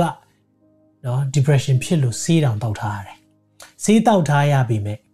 နော်ဆီယမကသူ့အိမ်လာမယ်လို့ပြောတဲ့အခါမှာသူတကားဖွင့်တယ်နေရာပေးတယ်ကြိုးဆိုတယ်။လုံးဝနေမကောင်းတဲ့ကြားတွေကသူမှုတော်ဆောင်ဆီယမတယောက်ကိုလက်ခံတယ်။အဲ့ဒီလက်ခံခြင်းအဖြစ် ဖះလမ်းဖွင့်ပေးတာဆီယမအဲ့ဒီဧည့်သည်ဆီယမကျွန်တော်လာတွေ့တဲ့အခါမှာ तू ကလိုက်လာခြင်းအဖြစ်မနေ့ကကျွန်တော်တို့တွေနော် deliverance လုပ်ဖြစ်တယ်ဆူတောင်းပေးတယ်အဲ့ဒီမှာ spirit of depression ခါနာတဲ့အရာတွေလက်ကဝစ်နာတဲ့အရာအကုန်အသေးစိတ်ဘုရားဖော်ပြတဲ့အခါမှာ तू အော်တယ်ဘုရားကဘာလို့အကုန်သိနေတာလဲဘုရားဘာကြောင့်မလို့ကျမပဲသိတဲ့ကိစ္စတွေဘယ်လိုလို့သိတာလဲ ဘုရားသိတယ်ဘုရားအရာအားလုံးသိတယ်သင်ရင်ခံစားနေတဲ့အရာအားလုံးသိတယ်ဒါပေမဲ့သင်လေအဲ့ဒီထဲမှာပဲထိုင်မနေပါနဲ့ချီနှောင်ခြင်းချုပ်နှောင်ခြင်းတဲ့ကနေငါမလွတ်တော့ဘူးဆိုပြီးတချို့တွေဖြစ်တယ်ခံစားရတယ်နော်ကျွန်တော်အဲ့ဒီအမျိုးသမီးငယ်အတွက်ဆူတောင်းပေးဖို့ကိုတညလုံးအိမ်မပြောကျွန်တော်ဝိညာဉ်ဆိုးတွေကောင်းကောင်းမောင်းထုတ်တယ်ဘာကြောင့်လဲငါငါဘာကြောင့်အိမ်မပြောတာလဲအဲ့ဒီညအိမ်မအိမ်နိုင်ဘူး ဘာခံစားရလဲဆိုတော့ depression ခံစားရတယ် spirit of depression လာနှောက်ရှက်တာကိုခံစားရတယ်ကျွန်တော်ဆ iam အောင်တော့ညတကောင်ပြောလိုက်တယ်ဆ iam လို့ခန်းထဲမှာ spirit of depression ကိုခံစားရတယ်အဲ့နဲ့သူထပြီးတော့ညတနားကြီးကျွန်တော်တို့ဆူတောင်းတယ်ကျွန်တော်တနင်္လာနေ့ည6နာရီမနေ့6နာရီတိမိန်နိုင်ရမ်းပင်ပန်းတယ်ဒါပေမဲ့ဖះဒီလိုမျိုးလွတ်မြောက်စေခြင်းပြီးဟေးလူတယောက်လွတ်မြောက်စေခြင်းပြီးဆိုရင်ဂျားခံဆူတောင်းခြင်းဂျားခံပေးတဲ့လူတွေမှာလေအမြဲတမ်း နားလေခွင့်ဖះပေးတယ်သူခံစားနေတဲ့အရာနှစ်ပေါင်းများစွာခံစားနေရင်ကျွန်တော်တညတည်းခံစားရတဲ့သဘောပေါက်သွားတယ်ဘယ်လောက်ထိဆိုးွားလဲဆိုတာဒီနေ့ကျွန်တော်ဒီနေ့ဒီမှာကြည်နေတဲ့သူတွေထဲကလည်း depression ဖြစ်နေတဲ့သူတွေကျဆူတောင်းပေးမယ်ဒီနေ့မှာဖះလွတ်ပေးမယ်ကြောက်တတ်တဲ့စိတ်ရှိနေတဲ့သူတွေ spirit of fear အမြဲတမ်းကြောက်စကားမပြောရဲဘူးကိုမှန်ရင်လည်းမပြောရဲဘူးအမြဲတမ်းခေါင်းငုံခံနေတာမဟုတ်စာတန်ကဖိထားတာဒီနေ့တချို့လူတွေရဲရဲနဲ့စိတ်လိုတယ် ဂျေဇုတော်ပလင်ကိုတိုးဝင်ဖို့လိုတယ်တချို့တွေဖះရှိမှလာဖို့တောင်ကြောက်နေတယ်အပြစ်များလို့နေ no no no no အပြစ်များလို့နေငါမလာတော့ဘူး no အပြစ်သားကိုချစ်တာဒီနေ့ကြမ်းမာတဲ့သူတွေအတွက်လာတာမဟုတ်ဘူးတဲ့ဘုရားကပြောလဲမကြမ်းမာတဲ့သူတွေအတွက်လာတာစေးသမားကိုအလိုရှိတဲ့သူတွေအတွက်လာတာပြည့်စုံတဲ့သူဖြောင့်မတ်တဲ့သူတွေအတွက်လာတာမဟုတ်ဘူးတဲ့မပြည့်စုံမဖြောင့်မတ်တဲ့သူတွေအတွက်လာတာတဲ့အဲ့ဒီသခင်တင့်ကိုဒီနေ့မှလေဖိတ်ခေါ်နေတယ် သင်ရဲ့သက်တာမှာသခင်ယေရှုဖခင်ကိုကယ်တင်ပိုင်ရှင်နဲ့ရှင်သခင်ဖြစ်လက်ခံဖို့လိုတယ်ဒီနေ့မှာဖခင်မတတ်နိုင်တဲ့မှုလုံးဝမရှိဘူး nothing is impossible with god nothing တခုမှဖះမတတ်နိုင်တာမရှိဘူးဖះတတ်နိုင်ခြင်းအရာအားလုံးဒီနေရာမှာကျွန်တော်ကြွေးကြော်တယ်အရှင်တော်ဝိညာဉ်ဖះအလုံးလုံးနေတယ်အဲကြောင့်ဒီနေ့မှာအရောက်စီတိုင်းကိုဖိတ်ခေါ်ခြင်းတယ်တင်းရဲ့သက်တာမှာလေးလံနဲ့ဝင်ထုတ်ရှိတယ်ဆိုရင်ဖះစကားပြောနေတယ် ဝင်လေး၍ပင်ပန်းသောသူပေါင်းတို့ငါထန်လာပါတဲ့ဖះထန်လာပါအဲ့ဒီဝင်နေနဲ့ပဲလာခဲ့လာခဲ့ငါဒီချမ်းသာပေးမယ်ဖះချမ်းသာပေးမယ်ဒီနေ့မှာလွတ်မြောက်ရတဲ့ခွင့်ပေးလိုက်မယ်ဒီနေ့လေးလံတဲ့အရာတွေမကြမ်းမာမှုတွေကြောင့်ရှိတဲ့လူတွေအားလုံးအသက်တာမှာဖះကလေလွတ်မြောက်ခြင်းပေးခြင်းတယ်ဒီနေ့ကျွန်တော်ဆုတောင်းပေးခြင်းတယ်သင်ရဲ့သက်တာကိုကျွန်တော်အရှိကနေတိုင်ပေးမယ်ဒီတခြားလူတွေမလွတ်မြောက်တဲ့သူတွေအများကြီးရှိတယ် pornography ဒီနေ့ကျွန်တော်စီမှာ တက်တဲ့ခန္ဓာ၃ယောက်ရှိတယ်နော်မိန်းကလေးနှစ်ယောက်ချုပ်မိန်းကလေးတွေမလွတ်မြောက်သေးဘူးသင်လွတ်မြောက်ခြင်းတယ်သင်သိတယ်ကြည်တိုင်းသင်စိတ်ညစ်တယ်ကြည်တိုင်းသင်စိတ်မကောင်းဖြစ်တယ်ဒါပေမဲ့မကြည်ပဲလည်းမနေနိုင်အဲ့ဒါဝိညာဉ်ဆိုးရဲ့လုပ်ရဖြစ်တယ်ဒီဖခင်ကသင်ကိုလေလွတ်မြောက်ခွင့်ပေးပြီးသားဂျေဇုတော်အောက်မှာဟုတ်တယ်ဒါပေမဲ့အပြစ်တရားမအုပ်ဆိုးရဘူးတဲ့ဂျေဇုတော်ကာလမှာဂျေဇုတော်အောက်မှာဒီနေ့အဲ့အပြစ်တရားကိုနိုင်ကိုနိုင်တယ်သခင်ရှိတယ်ဟာလေလုယာအဲကြောင့်ဒီနေ့ ကျွန်တော်ဖိတ်ခေါ်ခြင်းနဲ့အရောက်စီတိုင်းလာခဲ့ပါဒီနေ့မှာသင်အတွက်ကျွန်တော်ဆုတောင်းပေးခြင်းနဲ့ရှေ့ကနေကျွန်တော်တိုင်ပေးမယ်ကျွန်တော်ကခုနကျွန်တော်လက်ဆောင်ပေးမဲ့အထက်က၅ချက်လုံးကျွန်တော်ဒီနေရာကနေဖတ်ပြပေးမယ်သင်ကျွန်တော်နောက်ကနေလိုက်ဆိုပေးပါဟာလေလုယာယုံကြည်ခြင်းနဲ့ဒီနေ့လာခဲ့ပါအာမင်အားလုံးတူတကွကျွန်တော်နောက်ကပဲလိုက်ဆိုပေးပါသခင်ယေရှုဖေဟာကိုတော်တပါးတည်းသာကျွန်ုပ်ရဲ့ ကယ်တင်ပိုင်ရှင်နဲ့အရှင်သခင်ဖြစ်ကြောင်းဝန်ခံပါတယ်။လက်ဝါးကတိုင်းအပေါ်မှာသခင်ယေရှုရဲ့အသွေးသွင်းခြင်းကြောင့်ကျွန်ုပ်ဟာခရစ်တော်၌ဖြောင့်မတ်တော်သူဖြစ်ကြောင်းအတည်ပြုပါတယ်။နောက်တစ်ချက်လိုက်ဆိုပေးပါကျွန်ုပ်ဘဝ၌တည်ရနဲ့ဖြစ်စေမတိပဲဖြစ်စေအပြောအဖြစ်ဖြစ်စေအတွေးအဖြစ်ဖြစ်စေ ပြုမှုကျင့်ကြံခြင်းအဖြစ်ဖြစ်စေကိုရော့အပေါ်မှာပြစ်မှားမိခဲ့သောအပြစ်များအားလုံးအတွက်ဝင်ချတောင်းပန်ပါတယ်မိဘဆွေမျိုးများရဲ့ပြစ်မှားခဲ့သောအပြစ်များထဲတွင် မတရားသောမေထုံမတရားသောစီးပွားလူသေးစေမှု လူတတ်မှုရုပ်တုကိုးကွယ်ခြင်းနတ်ကိုးကွယ်ခြင်း ငွေကိုတက်မှတ်ခြင်းများရှိပါကကိုရောရှိ၌တောင်းပန်ဝင်ချပါတယ်နောက်တစ်ချက်လိုက်ဆိုပေးပါကျွန်ုပ်ဘဝ၌အပြစ်လုပ်မိခြင်းကြောင့်မာနကိုအခွင့်ပေးသောတကားပေါက်များဖြစ်သောမာနကြီးခြင်းတကားမှုသာပြောခြင်းတကားခါးသီးခြင်းတကား မကောင်းမှုကြံစီခြင်းတကားကိလေသာတကားရစ်မှုခြင်းတကားတတ်မှတ်ခြင်းတကားအမျက်ထွက်ခြင်းတကားခိုက်ရိုင်ဖြစ်ခြင်းတကားများကိုယေရှုနာမတော်မြတ်၌ပြန်ပိတ်ကြောင်းကြီးညာပါတယ်။နံပါတ်၄ချက်လိုက်ဆိုပေးပါ။သခင်ယေရှုခရစ်၏အသွေးတော်တကူကိုကျွန်ုပ်ဤ ခန္ဓာစိတ်ဝိညာဉ်သုံးပါးတွင်ကြီးညာပါ၏။သခင်ယေရှု၏အသွေးတော်တကူနှင့်အကျွန်ုပ်ဤတသက်ခံချက်သည်မာနဤတိုက်ခိုက်မှုအားလုံးအပေါ်တွင် အောင်နိုင်ကြောင်းအတိလင်းကြီးညာပါ၏နံပါတ်5ချက်လိုက်ဆိုပေးပါကျွန်ုပ်သည် အောင်မြင်တော်သူထက်အောင်မြင်တော်သူဖြစ်သည်ကျွန်ုပ်သည်ဧကအမှန် လွတ်မြောက်တော်သူဖြစ်သည်အကျွန်ုပ်သည်သာဝရအချစ်နှင့်အချစ်ခံရတော်သူဖြစ်သည်ကျွန်ုပ်တစ်ဖက်၌ထသောလက်နက်များအထမမြောက်ရပါဖျားသခင်ထားသောအကြံစီအားလုံးကိုကျွန်ုပ်ဘဝ၌ပြည့်စုံပြီဖျားပေးသောအရာသည်ကြောက်တတ်သောစိတ်မဟုတ်ပဲ တကူပါသောစိတ်ရှင်းလင်းသောစိတ်နှင့်ချစ်တတ်သောစိတ်ကိုသာပေးသည်နောက်ဆုံးအကြောင်းလိုက်ဆိုပေးပါကျွန်ုပ်ဤလွတ်မြောက်ခြင်းအပြင်တပားသူများလည်းလွတ်မြောက်ရန်အမှုဆောင်မည်ဤအစုလုံးစုံကိုသခင်ယေရှုနာမ၌ဆုတောင်းပါ၏ အာမင်ကျွန်တော်ဆက်လက်ဆုတောင်းပေးမယ်ဖျားရှင်ကိုရောရဲ့လွတ်မြောက်ခြင်းကိုဒီနေ့ညနှုတ်ပတ်တော်ခံယူတဲ့သားသမီးအကြီးဆုံးမှအငယ်ဆုံးတိုင်းပေါ်ကြီးညာတယ် break every chain there is the power of In the mighty name of Jesus, right now, I break every chain the change of infirmity, the change of fear, the change of sickness, the change of cancer, the change of pornography right now break it i break it in the mighty name of jesus ယေရှုနာမ၌ဒီရဲ့ change ိုးများ လွှမ်းမိုးထားတဲ့အရာများကိုဖျက်တောက်တယ်ဖျက်တောက်တယ်ဖျက်တောက်တယ် hallelujah ဒီနေ့မလွန်မြောက်နိုင်တဲ့အရာတွေ the change of drunkenness မူရစေဝါ the change of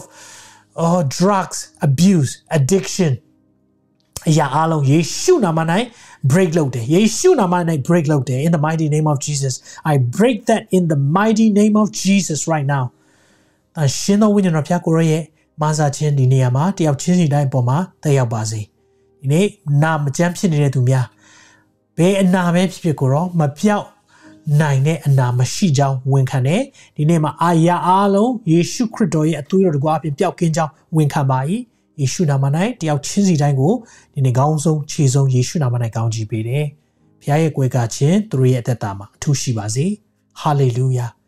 ယေရှုတင်တယ်။ယေရှုတင်တယ်။ကိုရောရဲ့ပို့ဆောင်ခြင်းလမ်းပြခြင်းအတွက်အထူးယေရှုတင်တယ်။ဒီညမှာလွတ်မြောက်တော်သူများမြောင်များစွာသားသမီးများတက်တည်ခံချက်များကိုရောထံကိုပြန်လာမှာဖြစ်လို့ယေရှုတင်တယ်။ကိုရောထံကိုချီးမွမ်းခြင်းများပြန်လည်ယူဆောင်လာမယ်ဆိုတာကိုယုံကြည်ပါတယ်။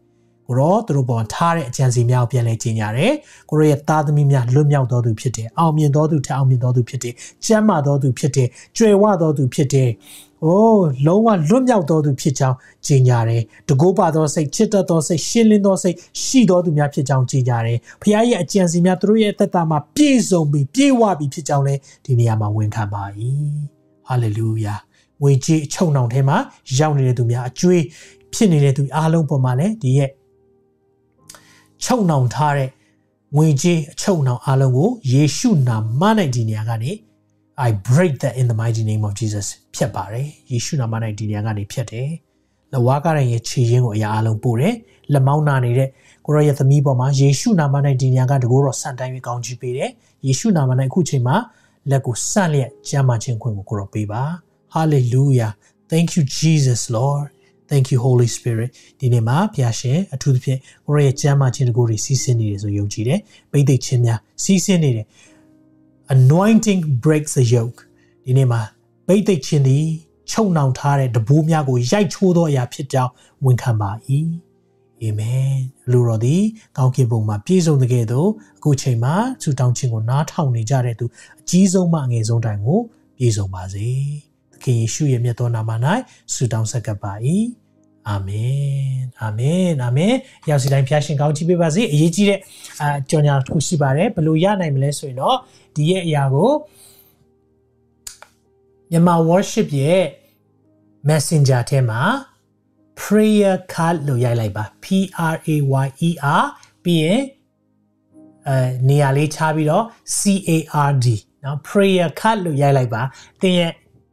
message ထဲမှာအလိုလျောက်ရောက်လာပါလိမ့်မယ်เนาะ prayer card လို့ရိုက်လိုက်ပါเนาะကျွန်တော်တို့ message ပို့ပါเนาะ prayer card ဆိုပြီးတော့ message ပို့လိုက်ပါသင်ကိုလက်ဆောင်ပေးချင်ပါတယ် အာဒီရဲ့ဆူတောင်းချက်လေးတွေအခုကျွန်တော်ဆူတောင်းတဲ့အရာကိုကိုယ့်ရဲ့အသက်တာမှာချုပ်နှောင်ခြင်းခံစားရတယ်လို့ခံစားရတိုင်းမှာဒီအရာကိုထုတ်ပြီးတော့ဆူတောင်းပါလို့ဒီနေရာကနေခွန်အားပေးခြင်းတယ်เนาะအကယ်၍အတင်မိတ်သားရမှာပါဝင်ခြင်းနေဆိုရင်လည်းဖိတ်ခေါ်ရဲအကယ်၍သွားဖို့လိုရဲဆိုရင်လည်းဒီနေရာကနေနှုတ်ဆက်တဲ့အခုလာမဲ့စနေနေ့မှာ prophecy update လုပ်သွားမှာဖြစ်တယ်။ကမ္ဘာတော်မှာဖြစ်ပျက်နေတဲ့အရာကျမ်းစာပြည့်စုံခြင်းတွေကိုလေ့လာသွားမှာဖြစ်တယ်။ဒါကြောင့်အရောက်စီတိုင်းကိုလည်းအားလုံးပါဝင်ဖို့ရန်အတွက်ဖိတ်ခေါ်ရဲ။ ဘုရားရှင်ရဲ့ညီသက်ခြင်းဝမ်းမြောက်ခြင်းပျော်ရွှင်ခြင်းသင်နဲ့သင်မိသားစုပေါ်မှာတက်ရောက်ပါစေလို့ဒီညကနေဆုမွန်ကောင်းတောင်းပြီးတော့ယေရှုနာမ၌ကောင်းချီးပေးပါရစေ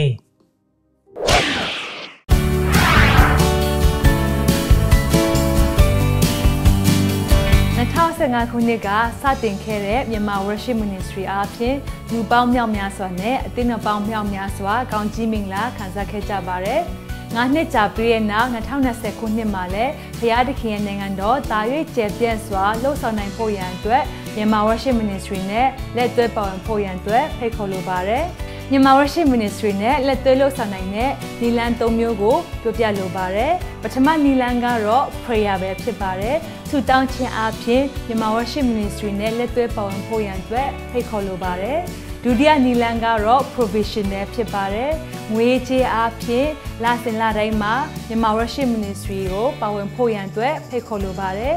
မြန်မာနိုင်ငံမှာရှိသောယဉ်ကျေးသူများလည်းလွယ်ကူစွာဖြင့်ပါဝင်နိုင်မယ့်နည်းလမ်းများကိုလည်းပြင်ဆင်ပေးထားတာဖြစ်ပါတယ်။လက်ပြနည်းလမ်းကတော့ press report ပဲဖြစ်ပါတယ်။ တင်းနှစ်တာမှာမြန်မာ worship ministry အားဖြင့်ကောင်းချီးမင်္ဂလာခံစားရတဲ့ရာတွေကိုတက်တေခံဝင်မြခြင်းအားဖြင့်တခြားသောသူများလည်းကောင်းချီးမင်္ဂလာခံစားရမှာဖြစ်ပါတယ်။ဒါကြောင့်မလို့မြန်မာ worship ministry ကိုဒီနီလန်၃မျိုးအားဖြင့်ပါဝင်လက်တွဲဖို့ရန်အတွက်အရာစီတိုင်းကိုဖိတ်ခေါ်လိုပါတယ်။